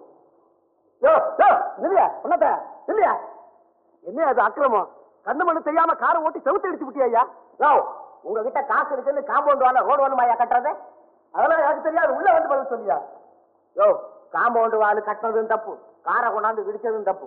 நம்ம ரெண்டு பேருக்குள்ளார சமாதானமா போயிடும் இந்த சூப்பர் டீ போட்டு சாப்பிடு உடம்புக்கு நல்லது. உங்க வீட்டுல யாராவது கேட்டா எருவு மாடு முதுகு போட்டு தைச்சு இடிச்சு பிடிச்சுன்னு சொல்லு. உள்ள வாஜா மம்முட்டி தூக்காதயா. உள்ள தானே வரணும் வாஜா உள்ள ஓஹோ இடிஞ்சு போன இடமா? எப்படியா வர்றது? அந்த பக்கமா வாயா வந்து எஜமானி அம்மா கிட்ட பதில் சொல்லு. எஜமானி அம்மா கிட்டயா வாயா வாயா. ஓ நீயா வா. மிஸ்டர் சம்பத்தா? அம்மா நம்ம காம்பவுண்ட் செவரெல்லாம் இடிச்சு இடிச்சு இடியாப்ப முடியலாம் சுமாரியா அந்த மாதிரி எனக்கு தெரியும். சுமார் மாலினி தெரியல? யாரு? நம்ம வசந்தி. அடடே நம்ம வசந்தி. நமஸ்காரங்க. ஏம்மா? பாஸ்கர்லாம் இங்கதான் இருக்கிறாங்களா? வாங்க.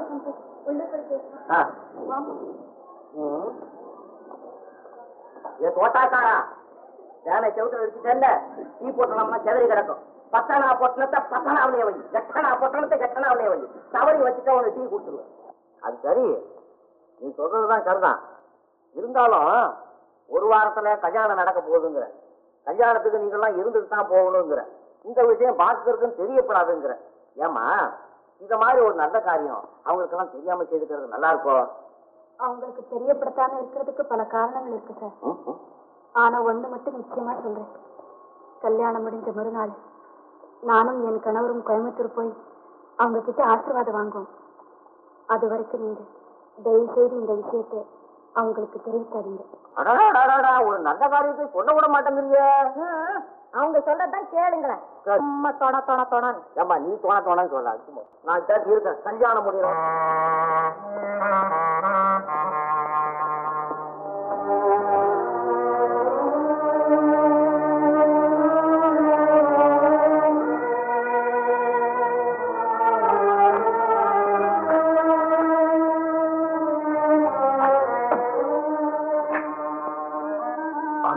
பாஸ்கருக்கு சம்பத் எழுதியது. உனக்கு அவசரமாக இந்த கடிதத்தை எழுதுகிறேன். இங்கு நான் வசந்தியை சந்தித்தேன். அவளுக்கு திருமணம் நடக்கப் போகிறது.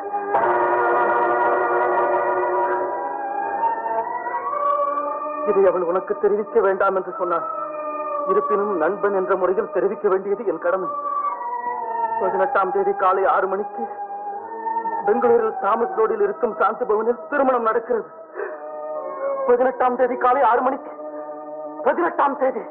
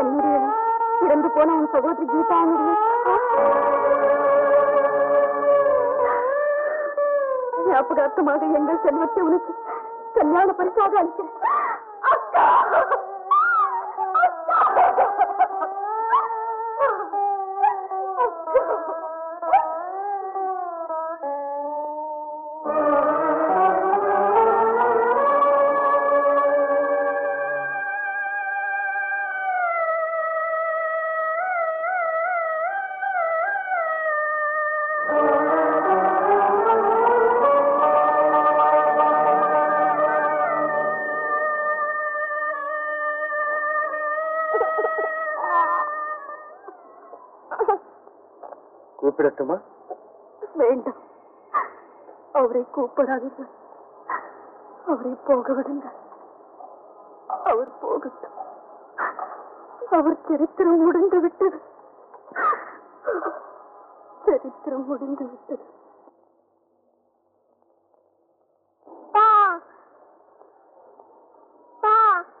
அவர் இல்லையடா உங்க அப்பா. இதோ உன்னுடைய அப்பா.